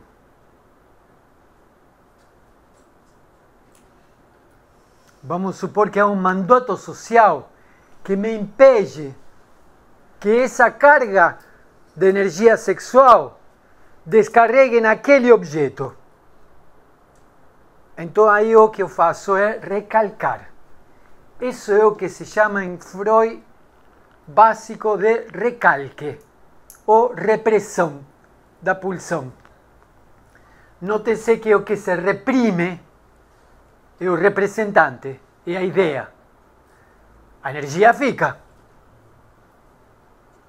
E o que acontece com a energia? Em algum lugar vai ter que escoar. Então ela vai precisar se vincular com outro representante pulsional.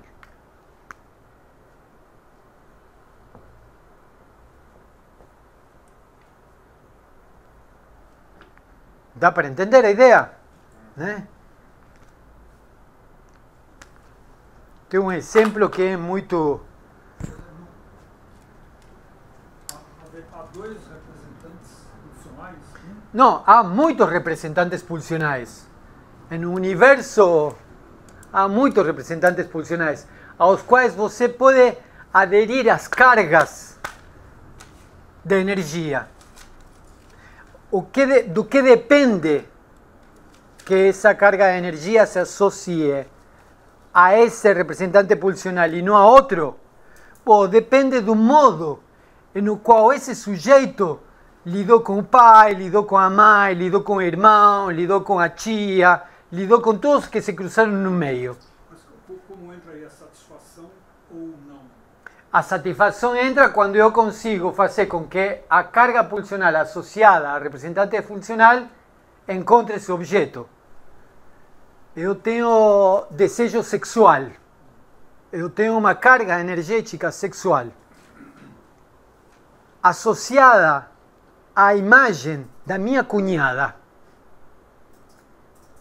Então, quando eu vejo minha cunhada, eu quero que minha satisfação se realize aí. Só que tenho um mandato social. Eu não posso ter uma relação com minha cunhada. Então aí se produz outro destino pulsional, digamos assim. Para Freud tem quatro destinos pulsionais. O retorno para o próprio objeto, para o próprio sujeito, quer dizer, vejo minha cunhada e em vez de descarregar na minha cunhada, me masturbo. Então volto para o objeto. Volto para o sujeito como objeto. A outra, essa é a primeira. A segunda é a inversão. Vejo minha cunhada e em vez de descarregar amor, o que eu descarrego é ódio. Eu acabo odiando minha cunhada. Essa é a inversão da carga.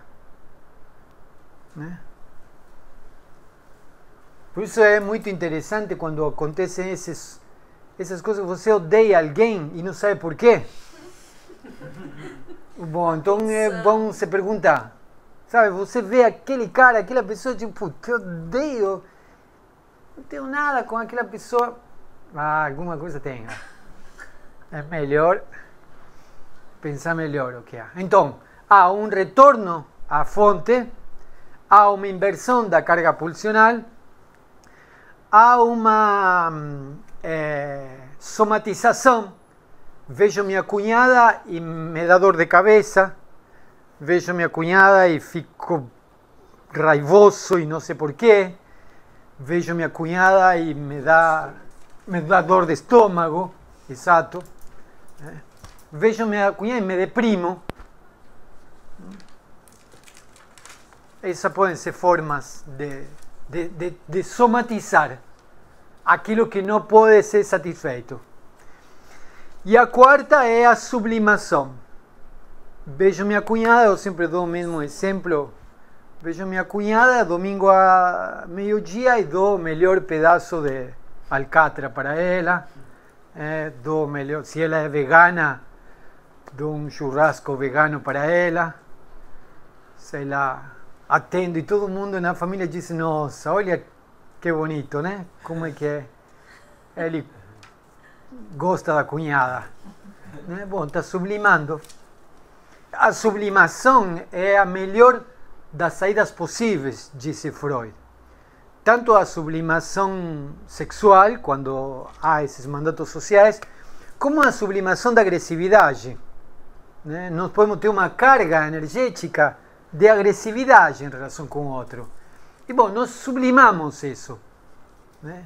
Uma forma de sublimação que durante muito tempo foi, eu pelo menos pratiquei bastante isso, era ir no estádio de futebol e gritar contra a torcida contrária. Aí havia um exercício de catarse, de sublimar a agressividade. Terminava o jogo, terminava, todo mundo ia para casa, mas você tinha expiado aquilo. Né? Isso, esse, esse elemento catártico é um elemento sublimatório. Né? Então você não precisa arrebentar o outro cara. É só torcer para um time, dizer, é, juiz ladrão, você, sou pena tiranoso, sei lá o quê. E aí terminou, terminou, cada um volta para sua casa. Né? Há, há algo da ordem da agressividade que pode ser sublimado. Mas Freud adverte, nem todo pode ser sublimado. Nem todo pode ser sublimado. Isso também não é uma escolha, né? Não, não é uma escolha.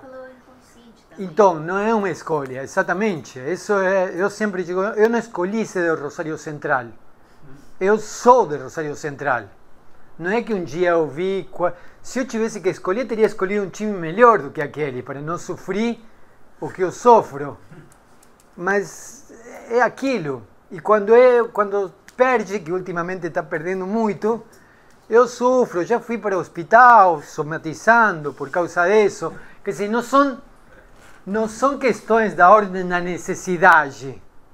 Também não é uma questão. de- Não, não é que eu sofro com central porque eu escolhi sofrer. Não, eu sofro inconscientemente. Por quê? Bom, porque as saídas pulsionais fueron encontrando esos representantes pulsionales. Y los circuitos pulsionales fueron se organizando a partir de eso. A partir do churrasco, do vinho tinto, do chimarrón, do futebol, da literatura, da poesía. Y son esos recursos que yo fui encontrando para poder dar vazão às pulsões, para poder sublimar, para poder me satisfacer y algunas veces para no poder me satisfacer y no poder sublimar.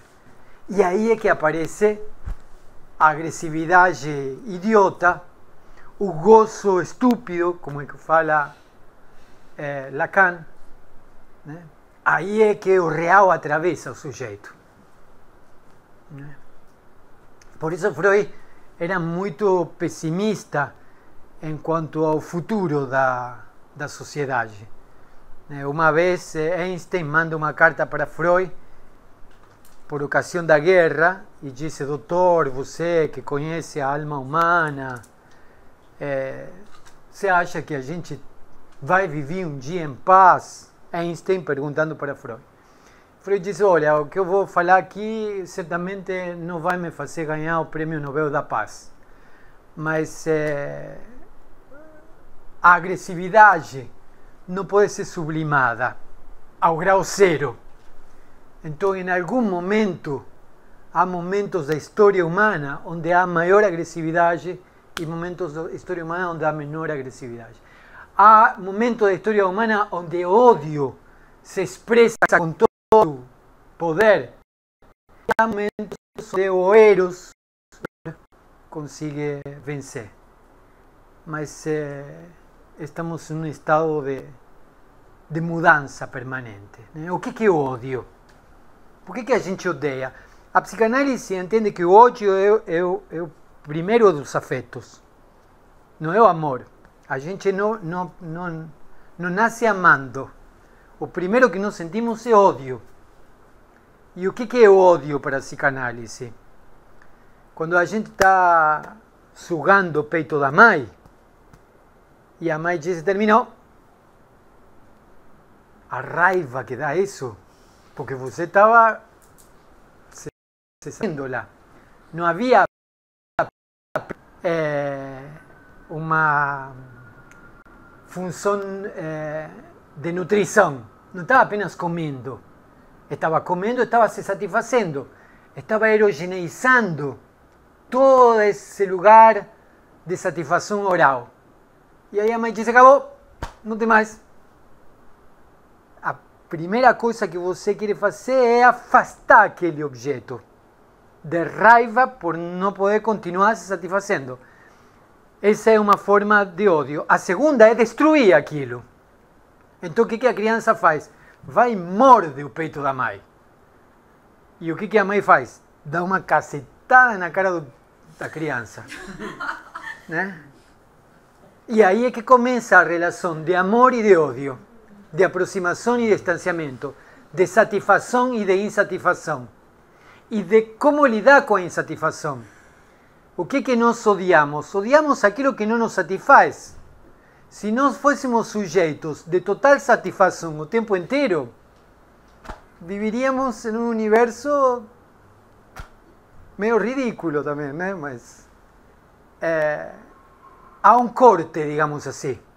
Há um corte que barra entre a satisfação e a insatisfação. E o sujeito precisa lidar com isso. Por isso que alguns lidamos de uma forma com ódio e outros lidamos de outra forma com ódio. Até um certo ponto, o ódio é constitutivo de si.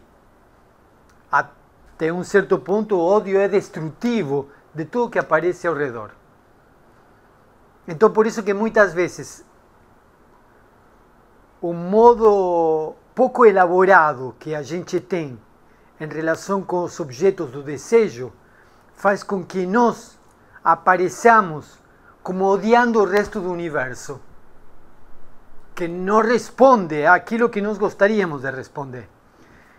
Se vocês veem as crianças, muitas vezes quando somos crianças, bom, não, não, nós não nos vemos quando somos crianças, mas quando nós vemos outras crianças, vemos que a criança ordena os brinquedos e muitas vezes elas ficam pé da vida porque os objetos inanimados não respondem à vontade dela. Então ficam de mal com o objeto porque o objeto não está fazendo o que ela está querendo que o objeto faça. Bom, essa é uma forma de ir lidando com a frustração e ir lidando com o ódio. E ir lidando com um mundo que não responde à tua satisfação. Que não responde à tua satisfação. Então aí, é nesse momento, onde vão se construindo esses caminhos pulsionais. A ver se podemos pensar de outra forma. Podríamos dizer assim: a criança não berra e grita porque tem fome. Berra e grita porque tem mal-estar. Há um mal-estar nessa criança e a criança berra e grita. Quem dá sentido a esse mal-estar é o outro, é a mãe. É aquele que faz função materna. A mãe, o pai, a tia, a cuidadora, a que faz função materna. É, o pai mesmo aquele que faz função materna é que dá sentido a esse mal-estar. Dá para entender a ideia? A criança tem um mal-estar. Por aqui, por aqui, por aqui, por aqui. Em algum lugar tem um mal-estar. Berra e grita. Quem faz função materna diz que está com fome. E vai dar o peito, ou vai dar a mamadeira. Tem cólica. E pega e faz. Já fez cocô, vou trocar a fralda ou está com sono e aí faz dormir. Dá para entender? Quer dizer, o sentido de aquele mal-estar é dado pelo outro. É na medida em que o outro interpreta aquele mal-estar articulado com o que poderíamos chamar de um ambiente, né? articulado com os outros objetos, com as outras situações. Agora, imaginem um bebê que cada vez que berra a mãe manda mamadeira. Cada vez que tem uma insatisfação, a mãe manda mamadeira. Cada vez que esse bebê tem alguma algum mal-estar pelo mundo externo, quem faz função materna manda mamadeira. Bom, esse sujeito cria um circuito pulsional no qual cada vez que haja uma insatisfação como adulto, ele vai enfiar alguma coisa na boca para poder aplacar a angústia. De aí aparecem os problemas de alcoolismo, os problemas de drogadicção, os problemas de distúrbios alimentares, o cigarro. Né? Nós fazemos isso cotidianamente, não precisamos de patologias. Diante de uma situação de nervosismo assim, o que, que muitas pessoas fazem? Colocam whisky, qualquer coisa e bebem. E aí vão. Como se um whisky fizesse alguma coisa. O que está em questão aí não é o whisky, é uma satisfação oral imediata que impulsiona o sujeito a prosseguir. Dá para entender a ideia? É? Então, nós podemos construir circuitos pulsionais de tal forma que o sujeito volta a repetir esses circuitos pulsionais diante de cada situação de angústia. A situação de angústia se torna intolerável, então o sujeito consume compulsivamente drogas para não ter que se confrontar a essa situação de angústia. Ou consume compulsivamente alimentos. Ou trabalha. Essa é outra das formas de compulsão. Trabalhar é uma forma de tentar eliminar a angústia e não lidar com a angústia. Não? E como trabalhar, e desculpa, e como. como Tem a vantagem de ser bem vista socialmente. Exatamente, como a, e como trabalhar é, é, um valor em si mesmo, aparentemente, então não fica tão mal para os outros, porque para o cara está se destruindo, a pulsão de morte está a 1400 km por hora, mais ou menos. Né? Agora, para o resto, não. um bom pai de família, uma boa mãe de família, não se droga, não bebe, morreu de uma parada cardíaca com quatro ACVs na cabeça e paraplégica, porque não aguentou mais. Né? E foi ainda é visto como um grande homem É, por- perante a sociedade. pelo fato de ter trabalhado. É. Acabou a vida dele, assim. Bom, Freud, Freud consumia compulsivamente cigarros. Tem uma coisa que ele fez umas 20 cirurgias na boca, tirando câncer, não? Eh, terminou com câncer de, na garganta, na boca, por todos lados. Mas também tinha 80 anos. Naquela época, de alguma coisa tinha que morrer já, né? Já estava bom 80 anos. Jorge Luiz Borges tinha uma, uma avó que morreu com 90. E Jorge Luiz Borges, escritor argentino, Jorge Luiz Borges disse que a avó estava muito velha e reuniu todo mundo na, na casa. E disse, eu quero pedir desculpas a vocês que eu não consigo morrer, mas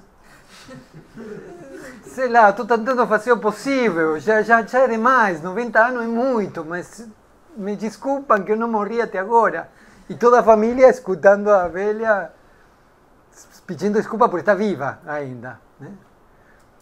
Mas eram épocas diferentes, hoje a expectativa de vida é, é outra. Então, dá mais ou menos para entender como se construem os circuitos pulsionais. O circuito pulsional se constrói com uma carga afetiva associada a um representante pulsional. Esses representantes pulsionais são os que se encontram na vida cotidiana do sujeito. Né? E a partir de aí se construem os, os circuitos pulsionais, os encaminhamentos pulsionais.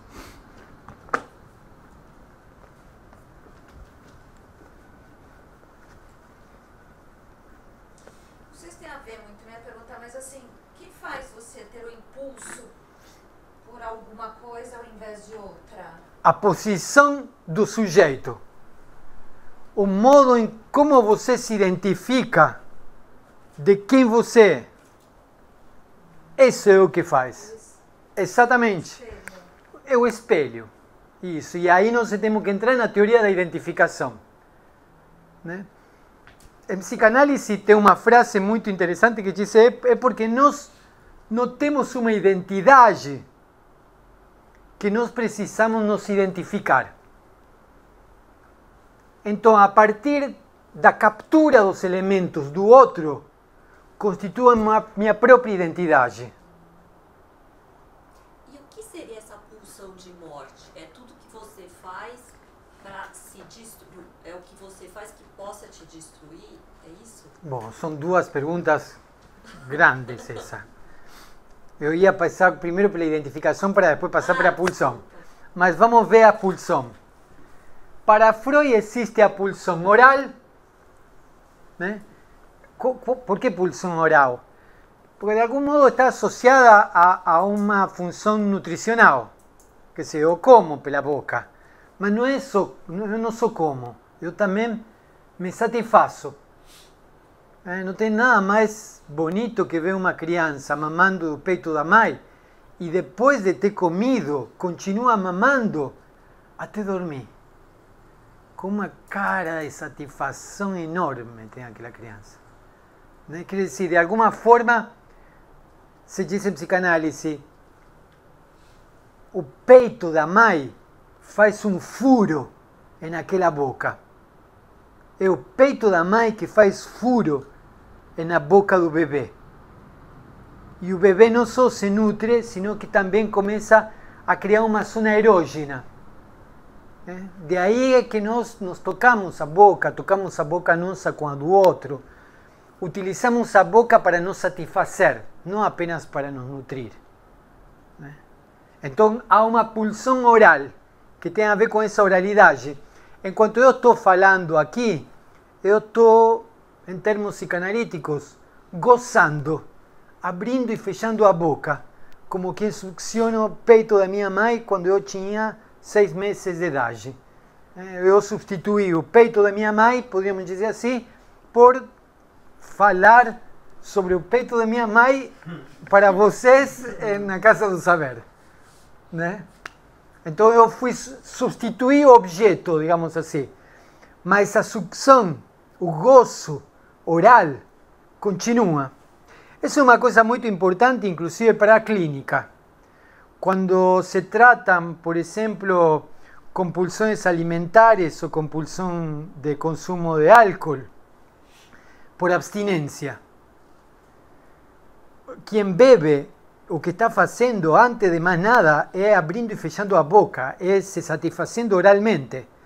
Cuando o alcoólatra para de beber,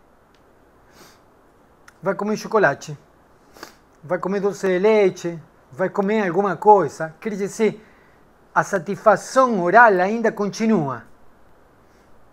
Dá para entender a ideia? Quer dizer, alguma coisa é preciso fazer com aquela boca, né? porque a satisfação ainda está lá. Então, às vezes, é preciso substituir. Ou, por exemplo, outra forma de substituição é ir a alcoólicos anônimos e ficar falando sobre seu alcoolismo. Contar. Quer dizer, continuar falando de aquilo que eu fazia, que se continuar movimentando a boca. Então, temos a pulsão oral, a pulsão anal. A pulsão anal se articula com a regulação do esfíncter. A regulação do esfíncter, então, é outro elemento importante. A mamãe o papai, quem faz função materna, quem faz função paterna, ensina a criança a regular o esfíncter. E aí fazer cocô no pinico, fazer xixi, depois passar por o vaso sanitário, ir tirando as fraldas aos poucos.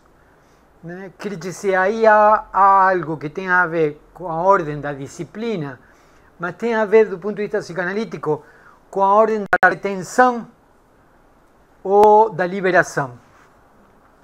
Abraham, um psicanalista contemporâneo de Freud, associava a analidade à neurose obsessiva. Né? A regular o esfíncter permite soltar uma parte do corpo, que são as fezes, como que já não são mais minhas, ou, ou reter isso como algo próprio. E eu está impossibilitado muitas vezes a soltar uma parte do meu próprio corpo, a perder. Perder. Se um neurótico obsessivo não sabe, é perder. Odeia perder. Então não solta. Né?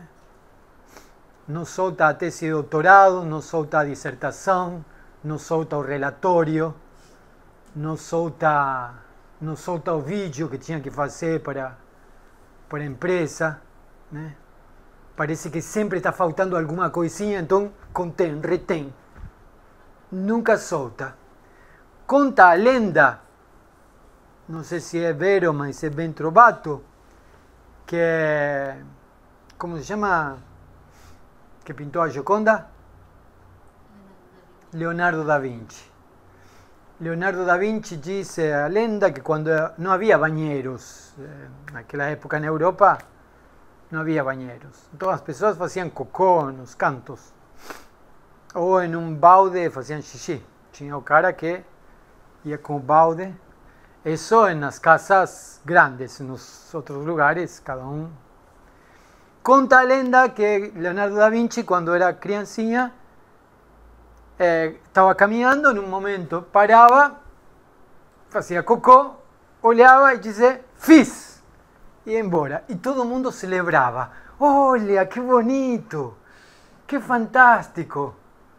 Era como uma obra de arte. Aquilo que ele largava era celebrado como uma obra de arte. Muitas vezes, eu não sei se isso é verdade, mas muitas vezes eu vejo muitas mães que fazem exatamente isso com o filho. Olha o cocô que fiz para a mamãe, que bonitinho! E a criança tem uma certa felicidade nisso. Eu acho que isso é muito positivo. Eu acho que isso é uma forma de, de algum modo, ajudar a criança a elaborar a perda, a elaborar o desapego. É na forma de um cococinho que é uma obra de arte para a mamãe. Olha que bonitinho. Né? Que melhor do que isso. Então, a analidade, a oralidade passa por todas as questões que nós vimos da compulsão de, de consumo. A analidade segundo Abraham, passa por essa, essa, esse problema entre reter e soltar. A genitalidade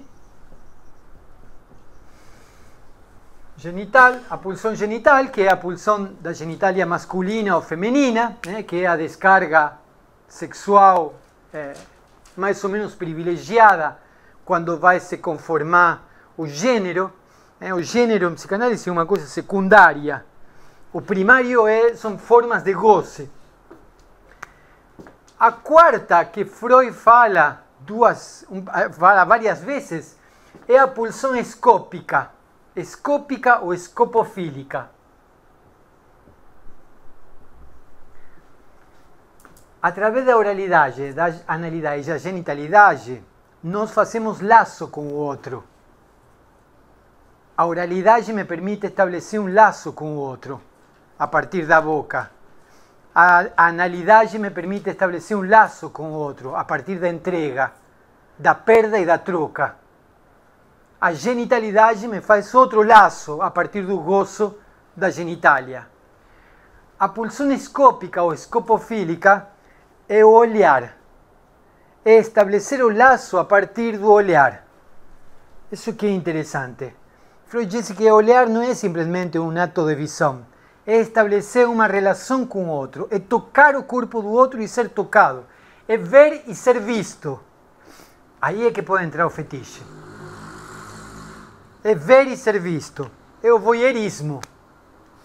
Né? Algo que hoje, com as redes sociais, está ampliamente difundido. De alguma forma, todos exercitamos nosso voyeurismo nas redes sociais. Ficamos olhando. Tem uma palavra para isso, não? Acho que quando você vai no Facebook, stalker. É, stalker é a pessoa que faz isso. E stalkear é um verbo, é o verbo isso. Mas é a mesma pessoa, né? Então, é, isso. Então, há um, há um voyeurismo em cima desse, nesse stalkear. Digamos. Agora, nós estendemos o voyeurismo sobre todo.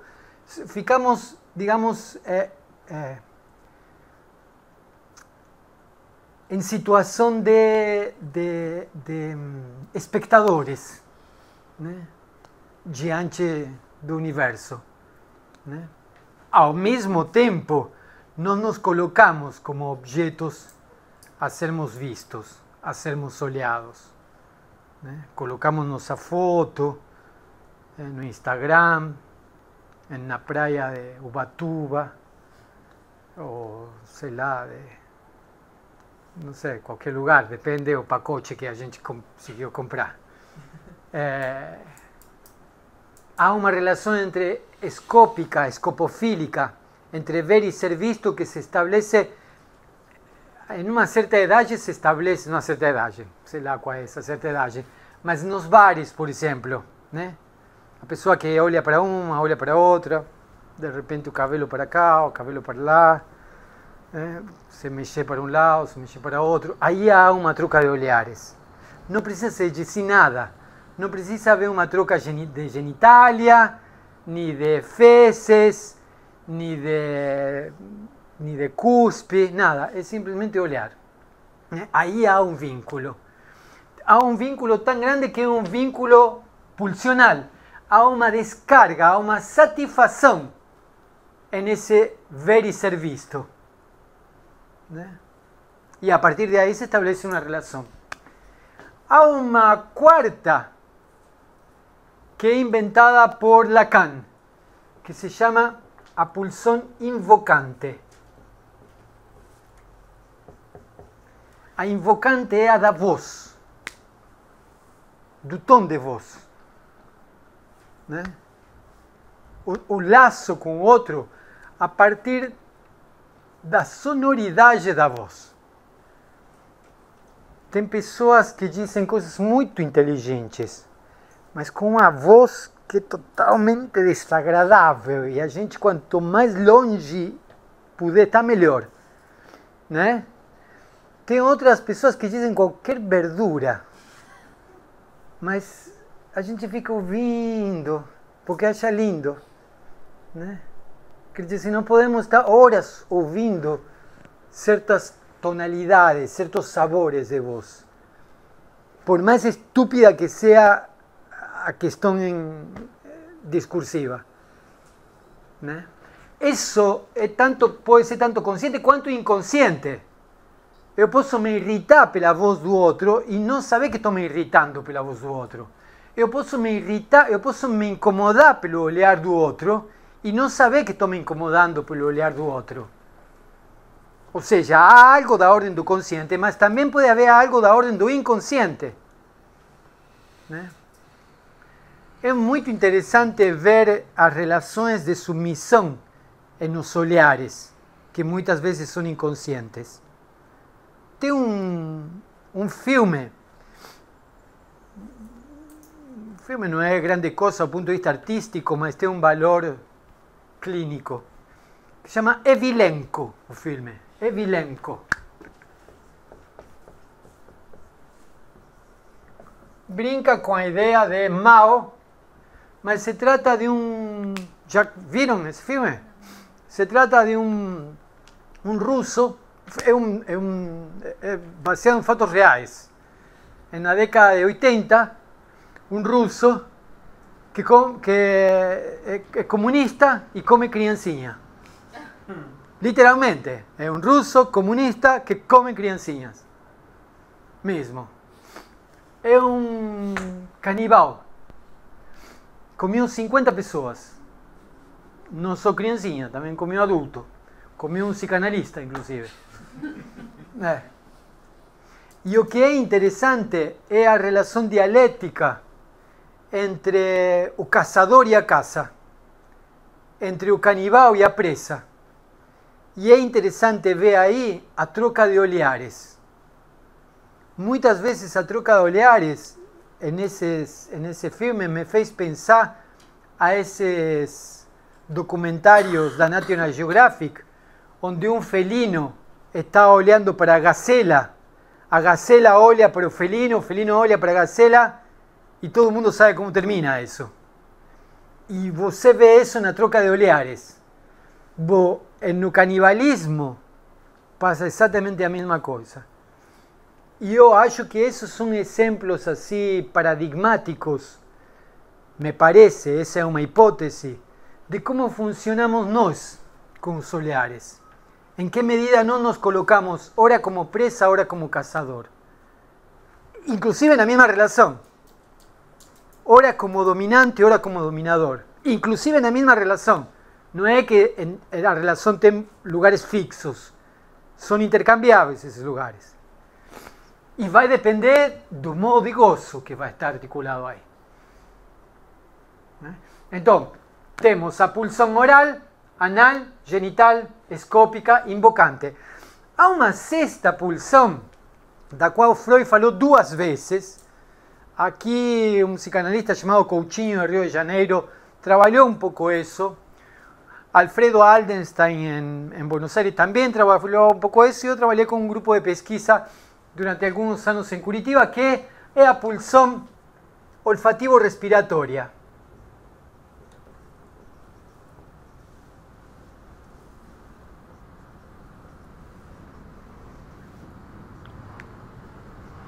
Há o relato de duas pacientes totalmente diferentes, com histórias diferentes, que falam para o analista em momentos diferentes a mesma queixa.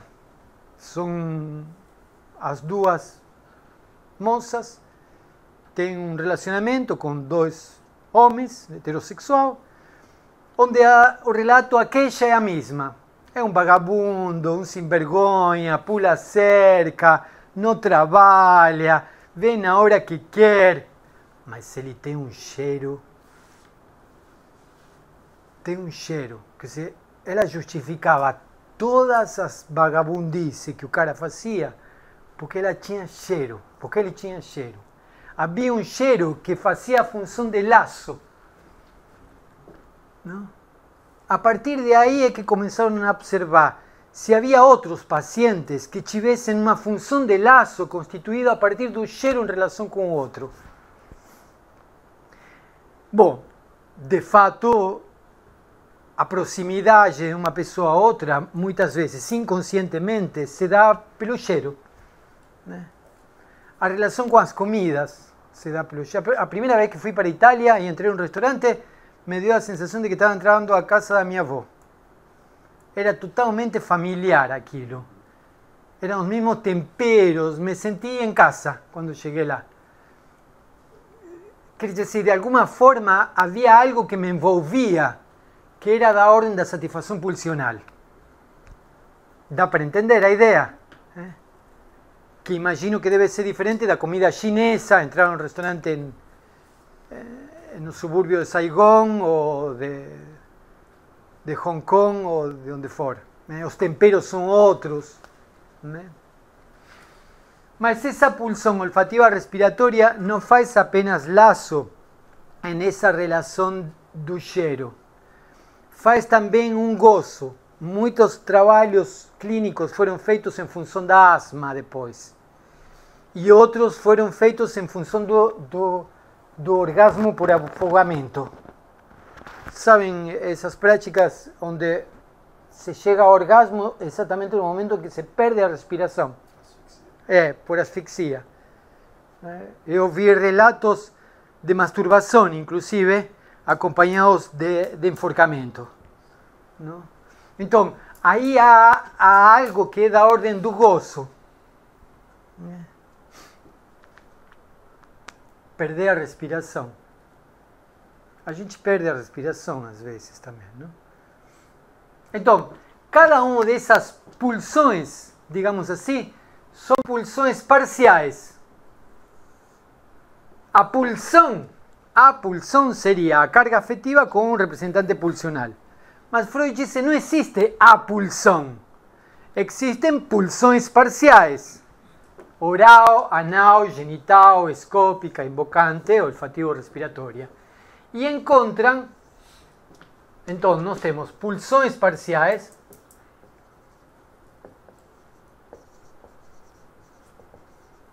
que encontram objetos parciais.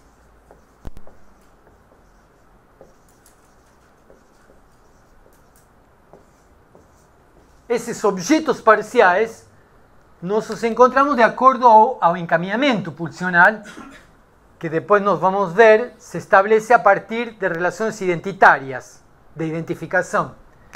Mas essas pulsões parciais que se encontram com objetos parciais têm como resultado uma satisfação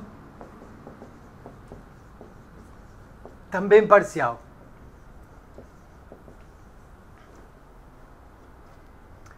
E nessa satisfação parcial, o que aparece é a promessa do gozo absoluto.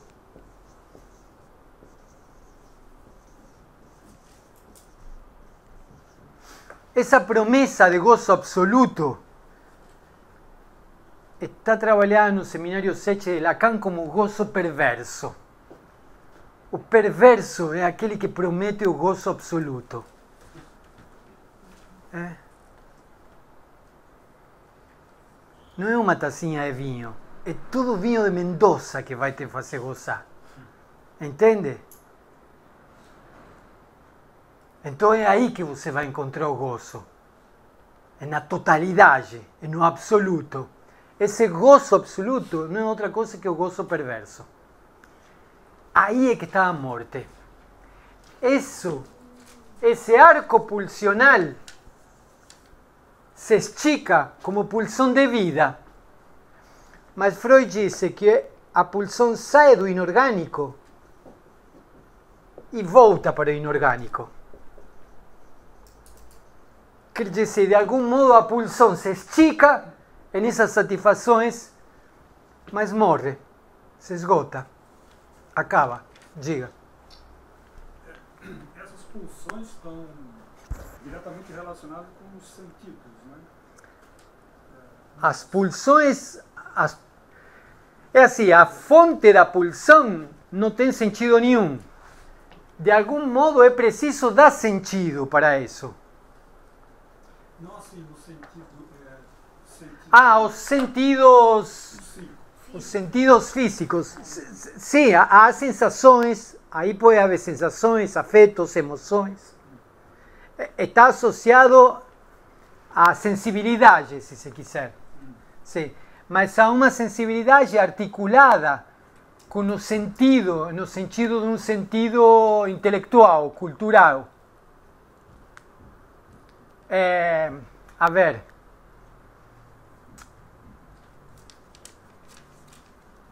Que eu goste de Coca-Cola não é meramente um sentido, é no sentido de sensibilidade.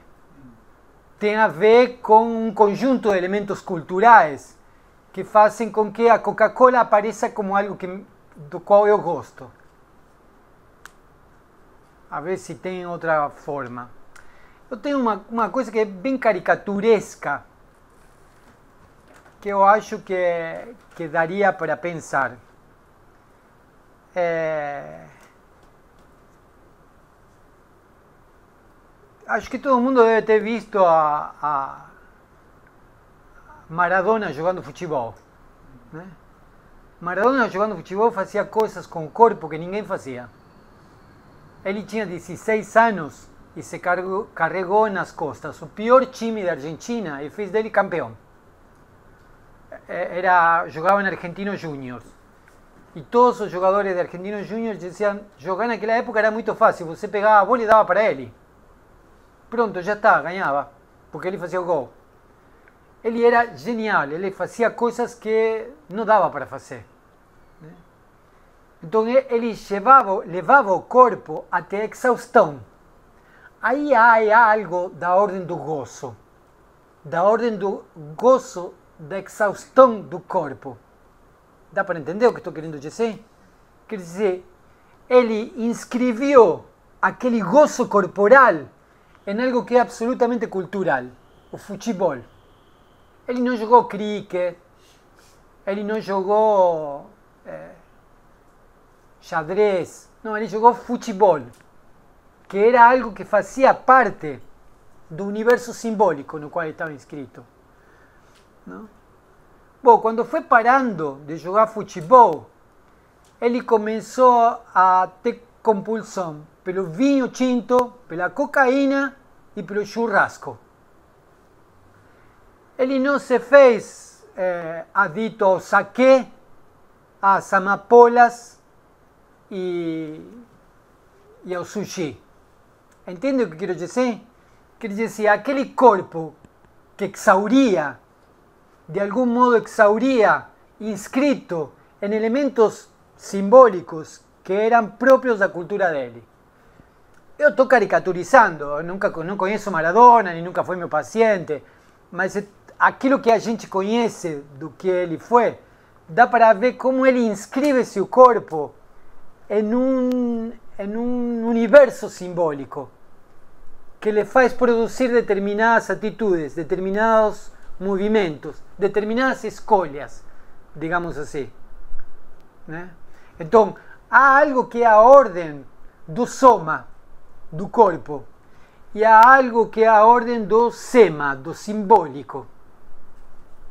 Então é na articulação entre o soma e o sema, entre o simbólico e o corporal, onde aparece o encaminhamento do circuito pulsional. É aí que nós escolhemos isso.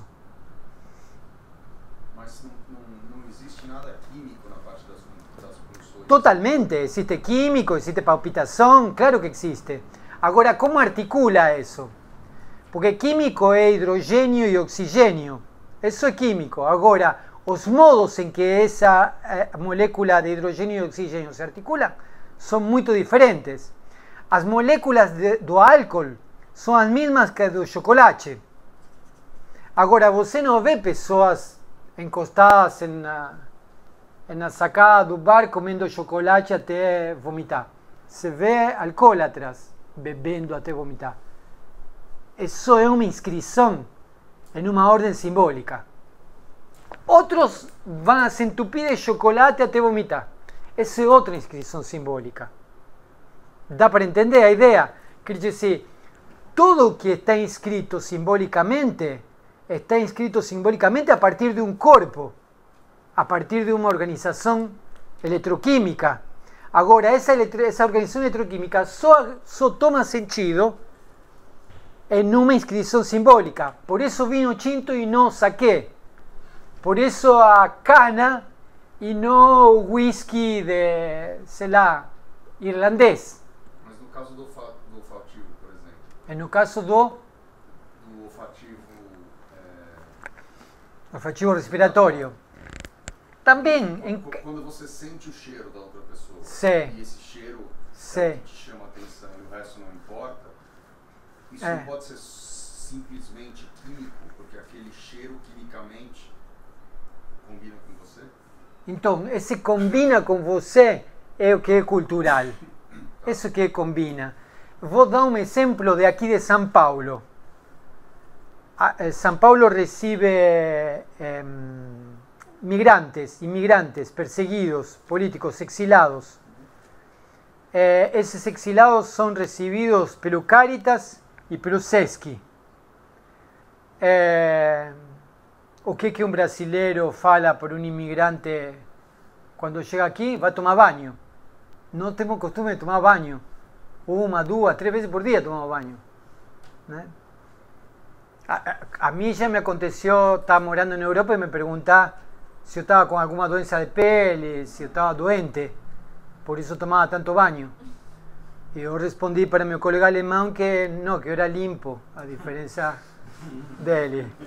Mas eles não tomam banho, não uma vez por dia, tomam banho uma vez por semana e olha lá.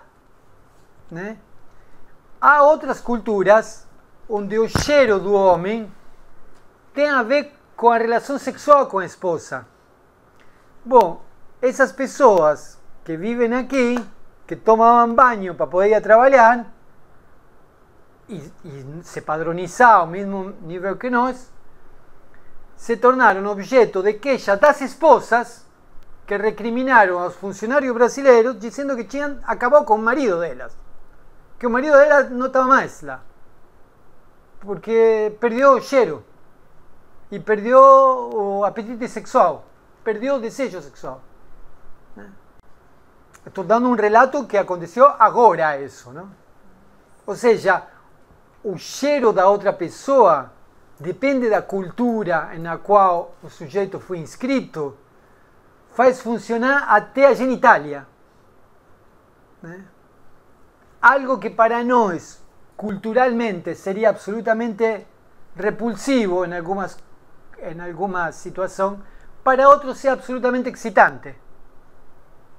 Mas é uma loucura isso, né? Qual é a verdade? Quem é você? Do que você gosta? A gente só gosta do que a nossa cultura. O que, eu gosto de verdade? Eu não sei então, né? Então, E pra saber o que, que a gente faz? boa pergunta. Vamos fazer o seguinte: são 10 e 15. Vamos ver essa pergunta para a próxima. O que, que a gente faz para saber?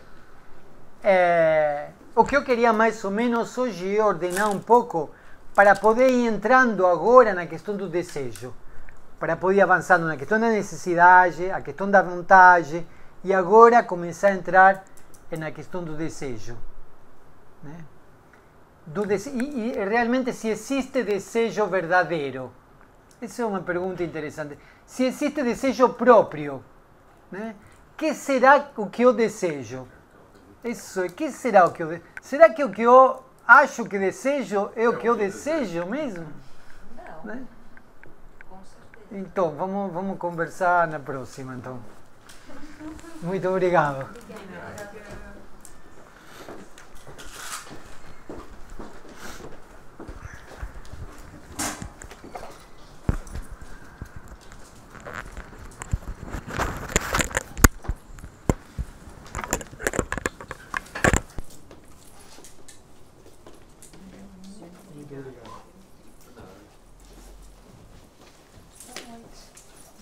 Boa noite. Até a próxima. Até.